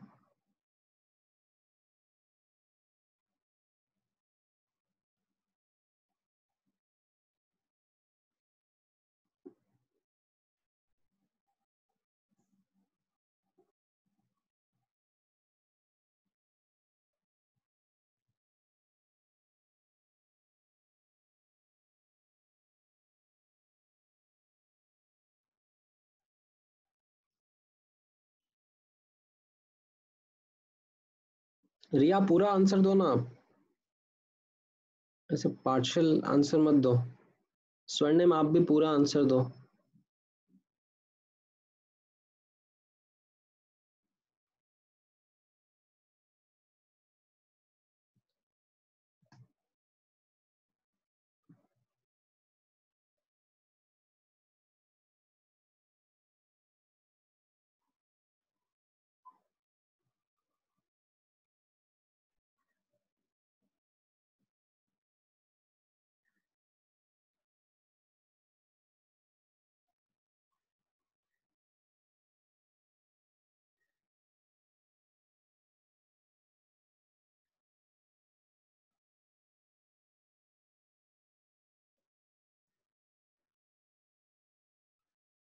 ओके निकिता का आंसर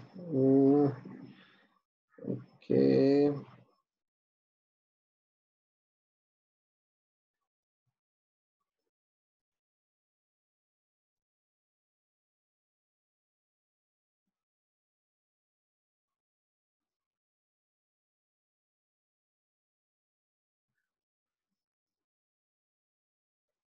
नहीं निकिता आपका आंसर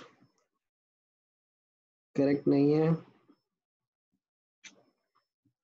स्वर्णिम का ओके ए का करेक्ट है बी का भी करेक्ट है सी का थोड़ा सा गड़बड़ हो गया। एंड डी का सही है।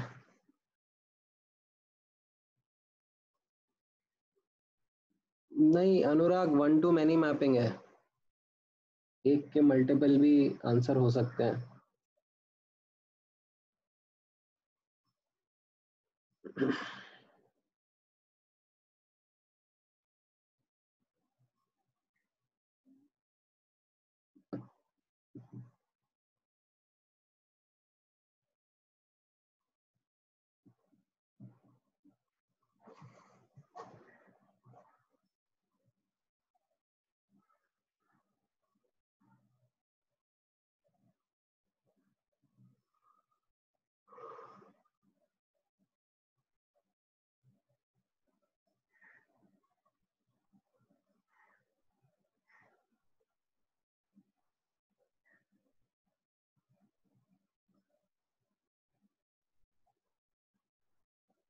देखो, मैं बता देता हूँ आंसर्स ए का सिर्फ़ थर्ड ऑप्शन रहेगा, ठीक है?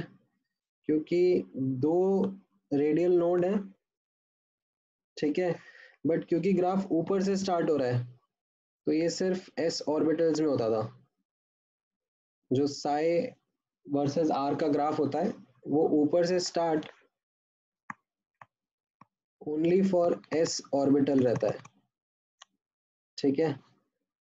तो that is what made the third option correct one then B में वापस से यहाँ पर आप नोटिस करोगे दो रेडियल नोड है एंड ग्राफ ओरिजिन से स्टार्ट हो रहा है।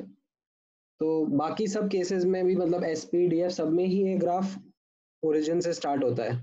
जो रेडियल प्रोबेबिलिटी डिस्ट्रीब्यूशन का ग्राफ होता है psi square into four pi R square versus R का ग्राफ तो अब दो रेडियल नोड आप देखोगे तो फोर पी में भी दो रेडियल नोड है एंड थ्री एस में भी दो रेडियल नोड है। तो ये दोनों के लिए एप्लीकेबल रहेगा।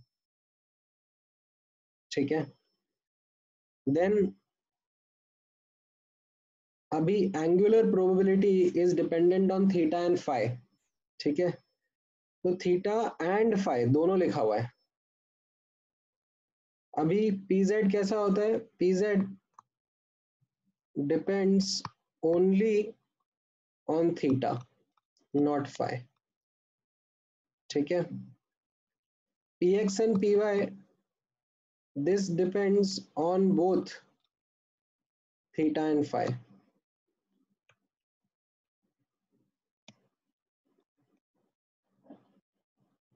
whereas s orbital it depends neither on theta nor on phi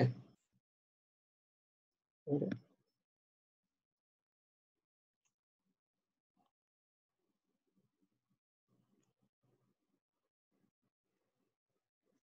So so, इसमें अगर एंड लिखा हुआ है यानी कि दोनों पे डिपेंडेंस की बात करी जा रही है तो that makes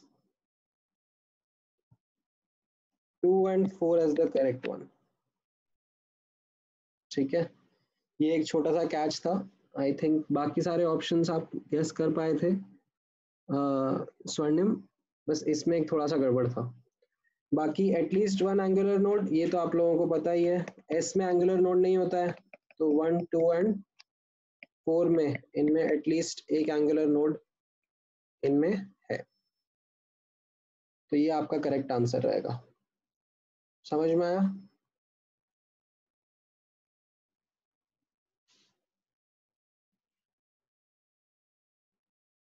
ठीक है। सेवेंथ क्वेश्चन ट्राई कर लो, चलो।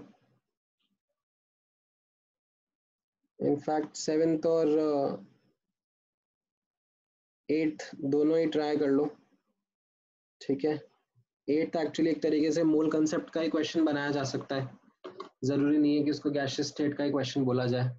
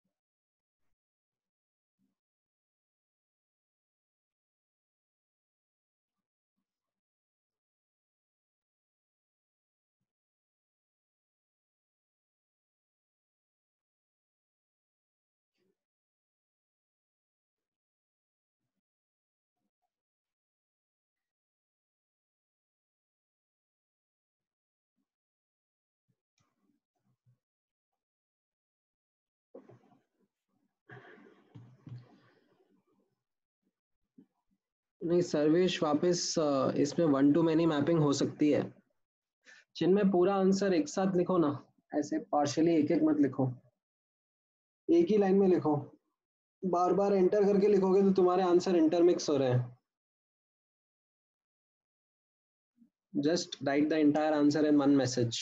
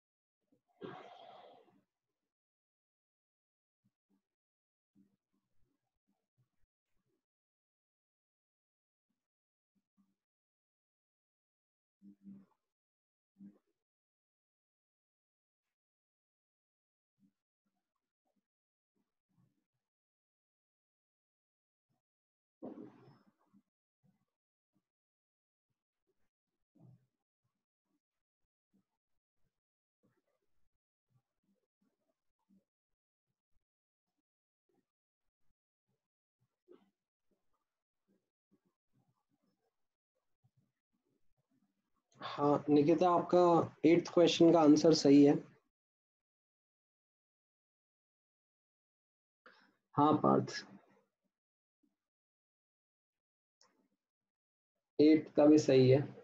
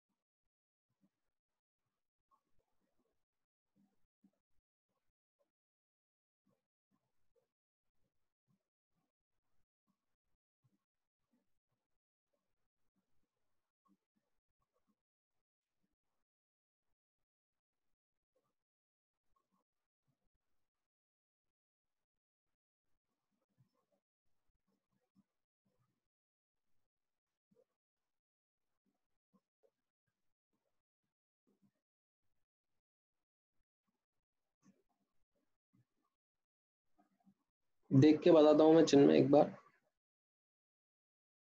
बाकी लोगों को भी ट्राई कर लेना तो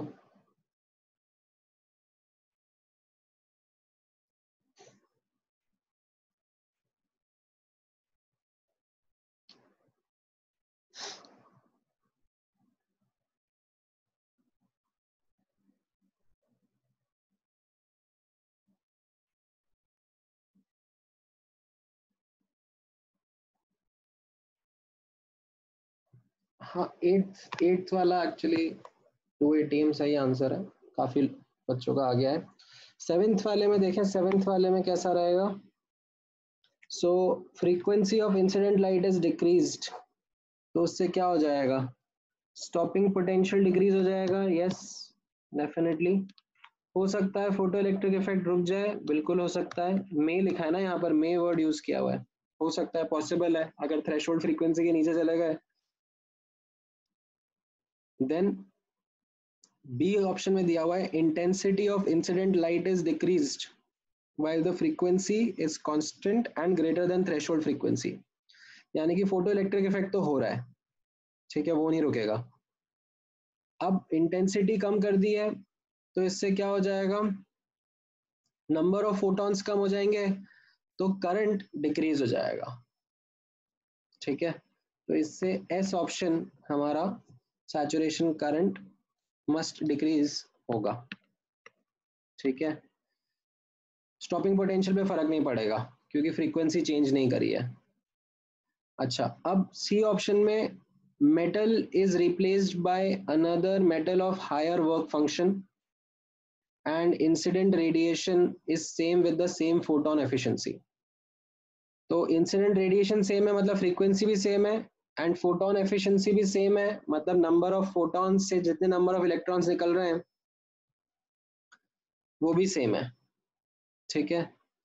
तो अब इसमें बोला जा रहा है that stopping potential definitely decrease होगा क्योंकि आपका वर्क फ़ंक्शन बढ़ जाएगा और फ़ोटो इलेक्ट्रिक इफ़ेक्ट में भी स्टॉप हो सकता है। अगर मान लो वर्क फ़ंक्शन इतना बड़ा हो जाए कि वो फोटोन की एनर्जी से ज़्यादा हो जाए। इंसिडेंट फोटोन की। तो इसमें भी पी और क्यू सेंस बनाएगा। सैचुरेशन करंट पे फ़र्क नहीं पड़ेगा, क्योंकि इसमें मस्ट नहीं कह सकते हम लोग। ठीक है? ऐसा मस्ट ज़रूरी नहीं है। अगर फ़ोटो इलेक्ट्रिक इफ़ेक्ट हो रहा है और नंबर ऑफ़ इलेक्ट्रॉन्स इतने इजेक्ट हो रहे हैं तो करंट फिर चेंज नहीं होगा। ठीक है? अच्छा। देन डी ऑप्शन में ये एक्चुअली बी का ऑपोजिट हो जाएगा। तो बस इसमें एस की जगह आर आ जाएगा। ठीक है? तो हाँ जिनमें आपका आंसर सही था। ठीक है? All right photo electric effect के ऊपर एक और क्वेश्चन मैं आप लोगों को ट्राई करवाता हूँ। ठीक है? एक मिनट मैंने एक्चुअली आई थिंक इसमें एक्चुअली लिखा था वो। कहाँ गया वो? कहीं पर तो लिखा था।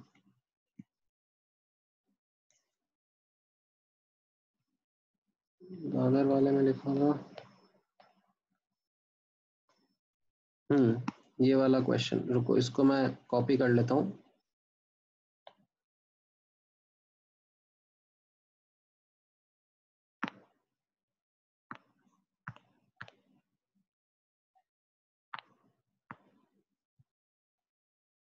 हम्म अच्छा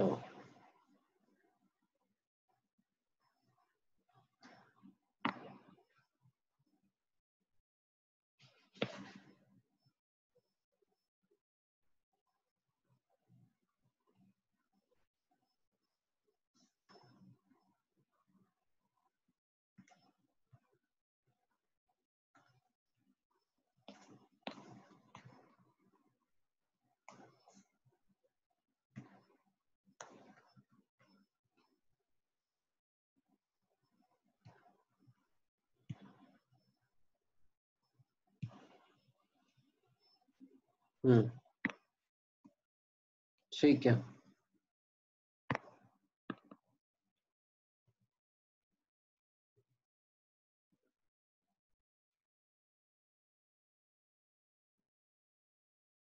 ये क्वेश्चन ट्राई करो। फ़ोटो इलेक्ट्रिक इफ़ेक्ट के ऊपर ही है।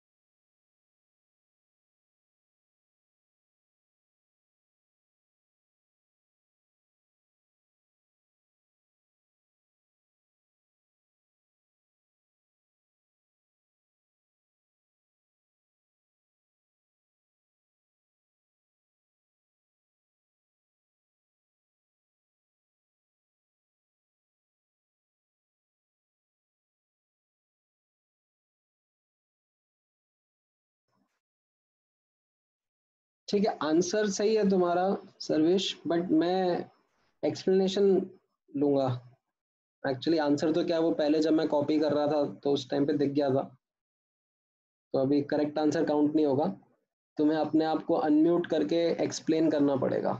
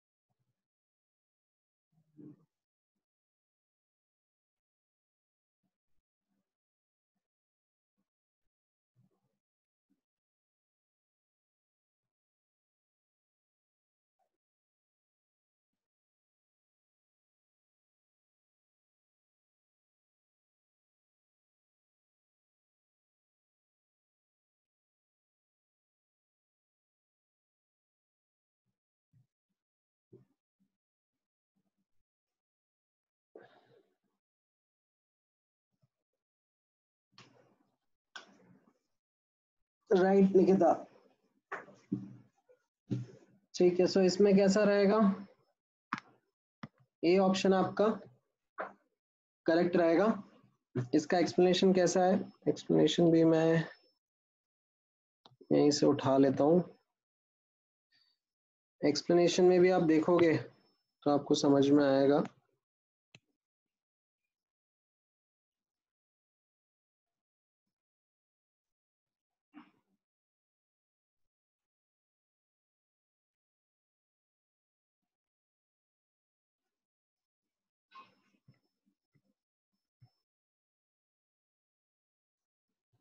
यहाँ पर each plate is being illuminated with this,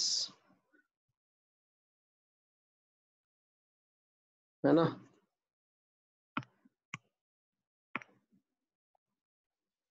तो ये जो इंसिडेंट रेडिएशंस हैं, इनकी फ्रीक्वेंसी से हमने इनकी एनर्जी ऑफ़ फोटोन निकाल लिया है। अब P में कैसा रहेगा? P का वर्क फ़ंक्शन इतना कम है कि तीनों से इलेक्ट्रॉन निकल जाएगा। तो तीनों से इलेक्ट्रॉन निकल जाएगा तो सबसे ज़्यादा इलेक्ट्रॉन पी से निकलेंगे। क्यू में अगर अपन देखेंगे तो क्यू में कैसा है? क्यू का वर्क फ़ंक्शन इज़ समथिंग जिससे पहले रेडिएशन से इलेक्ट्रॉन नहीं निकलेगा, दूसरे से और तीसरे से निकल जाएगा। तो आर में इनफैक्ट सिर्फ़ एक ही रेडिएशन से इलेक्ट्रॉन निकलेगा। तो सबसे ज़्यादा इलेक्ट्रॉन पी से निकल रहे हैं तो जो सबसे ज़्यादा सैचुरेशन करंट है, वो पी का रहेगा, उससे कम क्यू का, उससे कम आर का। ठीक है? एंड नाउ उससे वर्क फ़ंक्शन के बारे में भी आइडिया ले सकते हैं। वर्क फ़ंक्शन कैसा रहेगा? Maximum kinetic energy of electrons तो वो दिख रहा है पी के केस में कैसा रहेगा? 3.5 पॉइंट माइनस टू यानी कि 1.5 पॉइंट e रहेगा। एंड क्यू के केस में 3.5 ई e वाला फ़ोटो निकाल रहा है, पर वर्क फ़ंक्शन 2.5 ई है। तो उस केस में स्टॉपिंग पोटेंशियल आपका माइनस वन वोल्ट ही आएगा। तो स्टॉपिंग पोटेंशियल भी पी क्यू आर में मैग्नीट्यूड वाइज पी का ज़्यादा क्यू का उससे कम एंड आर का उससे भी कम। ये समझ में आया?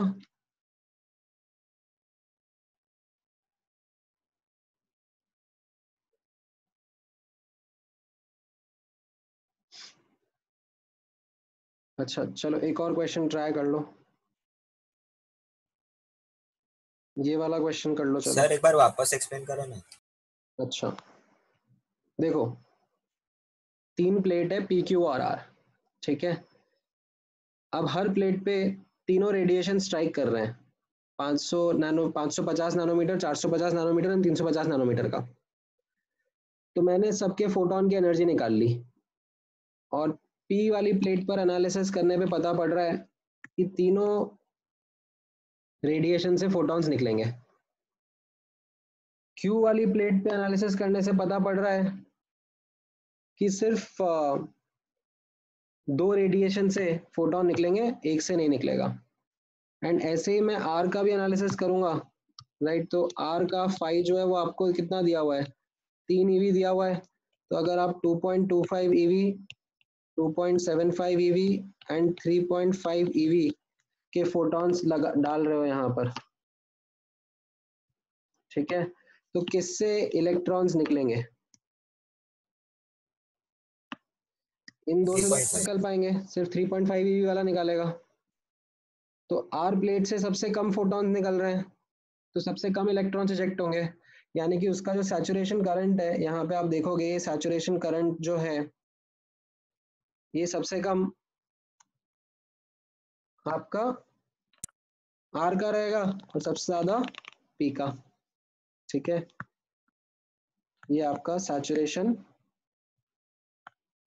करंट दिखा रहा है। एंड स्टॉपिंग पोटेंशियल भी आप ऑब्ज़र्व करना। ये जो एक्स इंटरसेप्ट है यहाँ पर, ये आपका स्टॉपिंग पोटेंशियल बता रहा है। तो स्टॉपिंग पोटेंशियल कैसे निकालते हैं? जितना मैक्स कनेटिक एनर्जी होता है इलेक्ट्रॉन्स का, उसके हिसाब से। तो अगर आप पी में देखोगे तो max photon minus work function तो 1.5 पॉइंट आ रहा है। स्टॉपिंग पोटेंशियल क्यू में माइनस वन आ रहा है एंड आर में कितना आ जाएगा?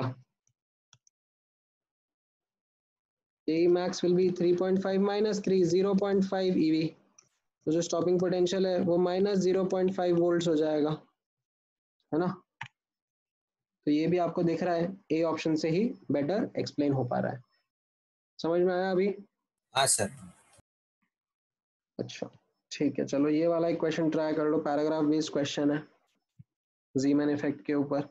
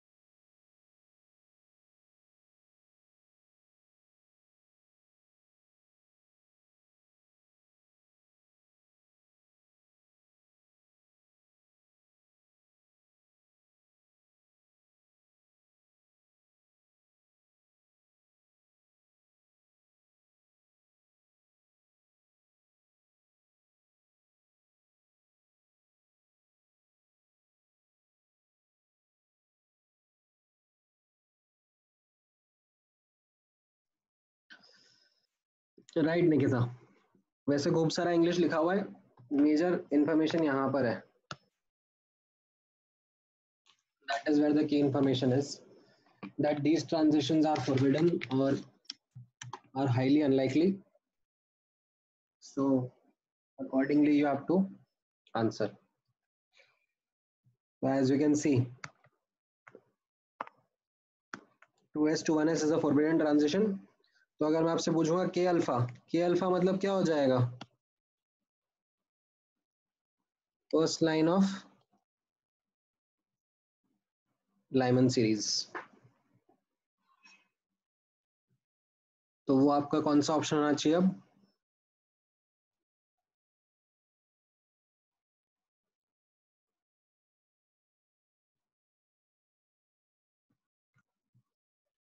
टू पी से वन एस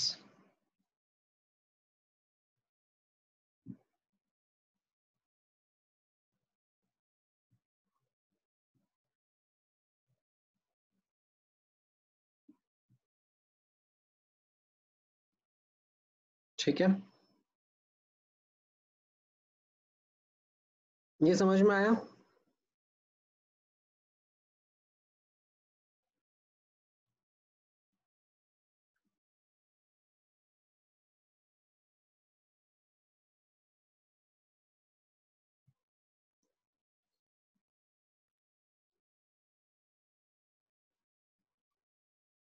सेकेंड पार्ट में जस्ट आपको के अल्फ़ा ट्रांजिशन पूछा ना? तो के अल्फ़ा मतलब लाइमन सीरीज़ का ट्रांजिशन है। लाइमन सीरीज़ का ट्रांजिशन मतलब टू से वन आना है।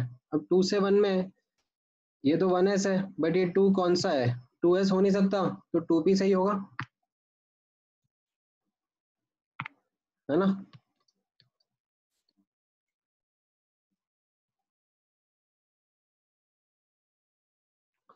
ऑल राइट ठीक है। देन बाकी तो कैसा है? बाकी गैशियस स्टेट वगैरह के थोड़े बहुत क्वेश्चंस हैं इसमें। ठीक है। सो so, आपको थोड़े से मोल कंसेप्ट के डिफ़िकल्ट क्वेश्चंस मैं भेज दूँ? आप लोग ट्राई कर लोगे? हाँ सर ठीक है। वैसे तो मैंने आपको वापस से वही बता रहा हूँ। प्लीज़ फोकस ऑन इंश्योरिंग कि ऐसा नहीं है बस डिफ़िकल्ट क्वेश्चंस में लगे हो मतलब इंश्योर कि आपका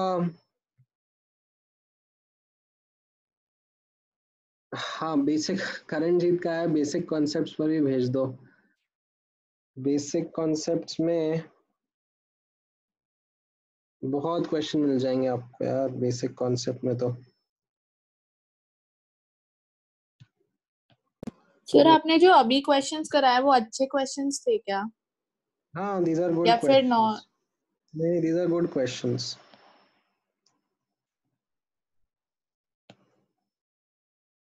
भी इसमें नहीं है वो।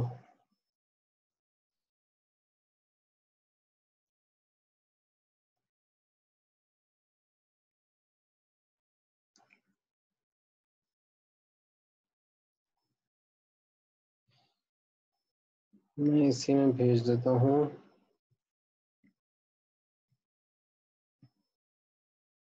हम्म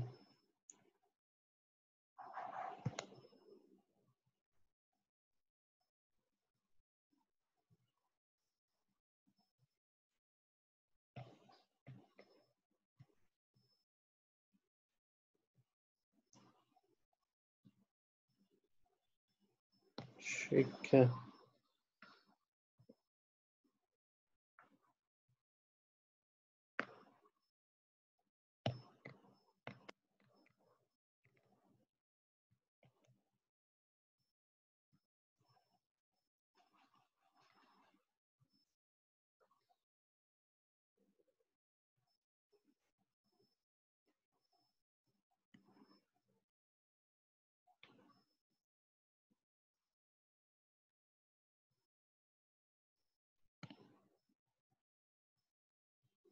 अभी इसी में डाउनलोड हुआ था कहाँ गया वो अरे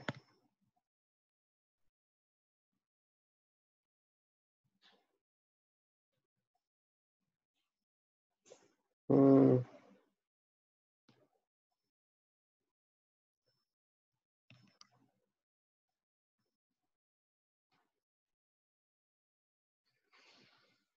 ठीक है।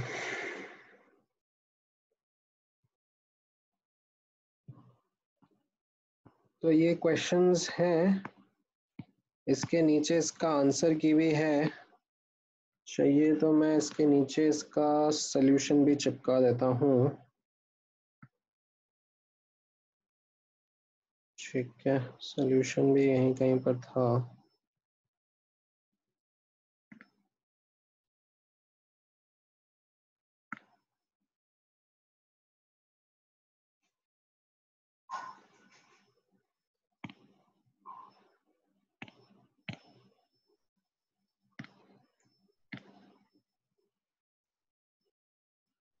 हम्म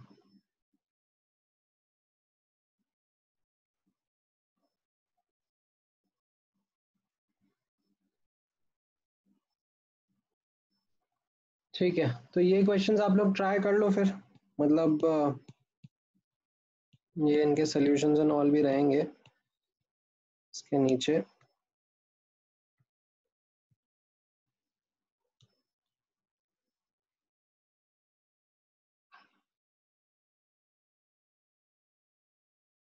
अभी हाँ मतलब अगर देखो मोस्ट लाइकली नेक्स्ट क्लास में सेशन नेक्स्ट वीक सेशन रहेगा तो उसमें ये डिस्कस कर लेते हैं। ठीक है मोल कंसेप्ट के थोड़े डिफ़िकल्ट क्वेश्चन हैं। बाकी इजी क्वेश्चन के लिए ना कहाँ गया? Karan basic concepts and easy question अगर आपको प्रैक्टिस करने तो आप बुकलेट के क्वेश्चंस भी ट्राई कर सकते हो। मतलब बुकलेट में भी अच्छे क्वेश्चंस हैं पर बेसिक कॉन्सेप्ट्स पे आपको रिवाइज करने क्वेश्चंस तो आप वहाँ से उठा सकते हो। Okay okay, sir and uh, आप लोग कोई बुक फॉलो कर रहे हो फ़िज़िकल केमिस्ट्री का?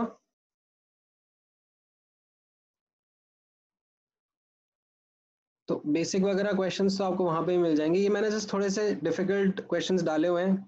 इनको आप ट्राई करोगे तो आपको थोड़ा सा डिटेल में सोचना पड़ेगा। बट ठीक है एक मोल कंसेप्ट और एटॉमिक स्ट्रक्चर दो ही चैप्टर है ना इस टेस्ट के। उसके लिए ठीक है ये आप प्रैक्टिस कर लो। ठीक है यार आज का सेशन काफ़ी इलाबरेट हो गया। ये मैं आपके साथ में शेयर कर दूँगा। ठीक है? ये इसका print out as well as recording और कुछ डाउट पूछना है आप लोगों को?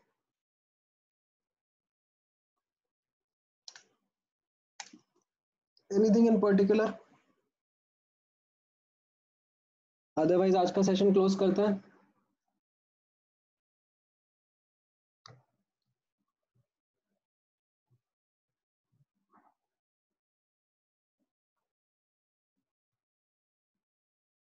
Schrodinger part of atomic structure अरे बाप रे, बहुत बड़ा है रे वो तो। मतलब उसमें मतलब स्पेसिफिकली कुछ जैसे मैंने क्वेश्चंस आज करा है तो अगर आपसे वो क्वेश्चंस हो रहे हैं, जो मैंने आज ये थोड़े बहुत क्वेश्चन कराए, बताए तो आइडिया लगना चाहिए। एक सेट ऑफ़ डिफ़िकल्ट क्वेश्चंस भी डालूं क्या और? क्वांटम मैकेनिकल मॉडल के ऊपर। देखो अगर मिलता है। देखो देखो। ढूंढू मैं। इसमें ही होना चाहिए। अभी मैंने थोड़े दिन पहले दिया था, किसी तो बैच में।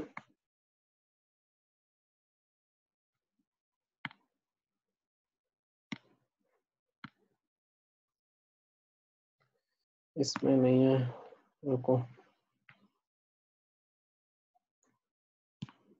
दादर वाले में था नहीं।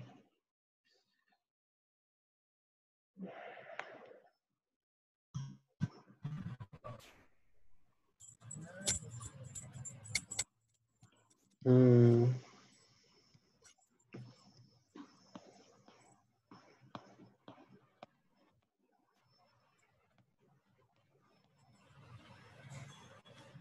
ठीक है ये एक्चुअली मैं पेज यहाँ पे डाल देता हूँ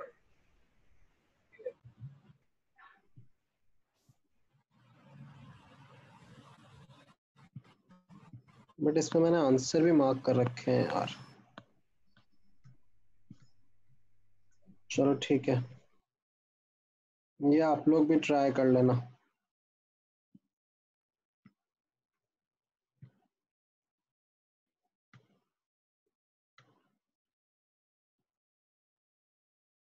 अरे नहीं हुआ वो?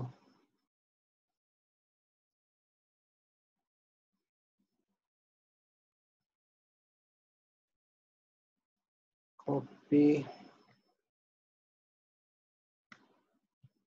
पेस्ट हाँ ठीक है।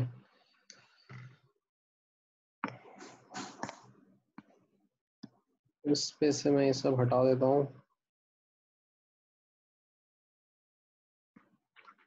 तो ये भी आप लोगों के पास चला जाएगा। ये नेक्स्ट क्लास में डिस्कस कर लेंगे। ठीक है? ये क्वांटम मैकेनिकल मॉडल पे बेस्ड असाइनमेंट्स हैं।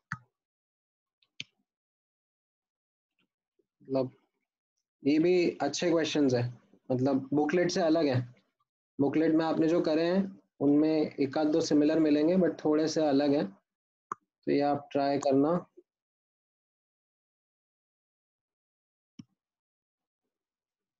है ना? एक आध इंटीग्रेशन बेस्ड भी है, उसको स्किप कर देना।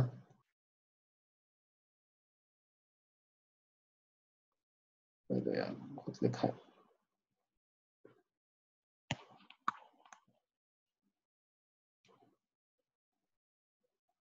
मुझे इसका ओरिजिनल फ़ाइल ढूंढना पड़ेगा कहाँ पे रखा हुआ है। उतना टाइम नहीं लगा रहा अभी, इसको ही चिपका रहा हूँ मैं आपको। ठीक है।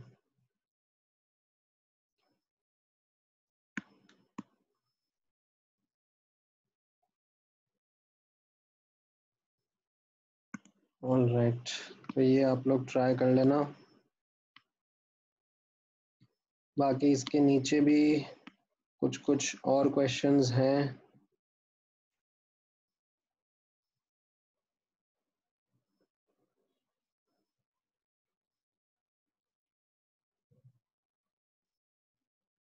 ठीक है तो ऐसा करो, मैं ये अपने टाइम पे इसको रब करके आप लोगों को शेयर कर देता हूँ। मैं आप लोगों का टाइम क्यों वेस्ट कर रहा हूँ? I will rub the solutions and then I will share this with you तो आप लोग भी ट्राई कर सकते हो फिर। ठीक है? ये अगेन डिफ़िकल्ट क्वेश्चन ही हैं इजी क्वेश्चन नहीं है। आप लोग ट्राई करोगे तो समझ में आएगा। ये last to last to last year JEE advance में पूछा हुआ क्वेश्चन था, ये भी ट्राई कर लेना। ठीक है।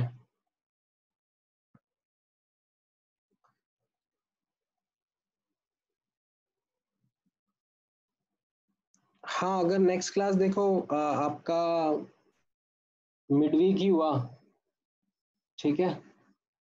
जैसे अभी थर्सडे को शेड्यूल हो रहा था ना तो बिफोर टेस्ट ही रहेगा फिर, ठीक है? तब तक ट्राई कर लो। ठीक है, मैं इसको रब करके आप लोगों को भेज दूँगा। आज का लेक्चर क्लोज करें।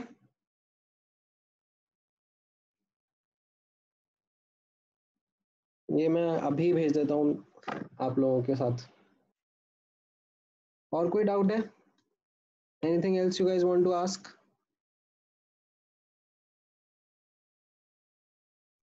तो इस, ये क्वेश्चंस आप प्रैक्टिस करोगे तो इसके साथ में हाँ शोडिंगर वाले पार्ट का भी डिस्कशन हो ही जाएगा।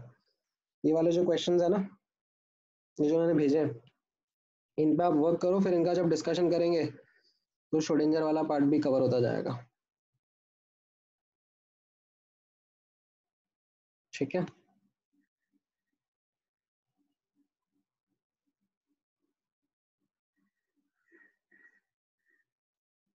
चलो क्लोज कर दो फिर मैं आज का लेक्चर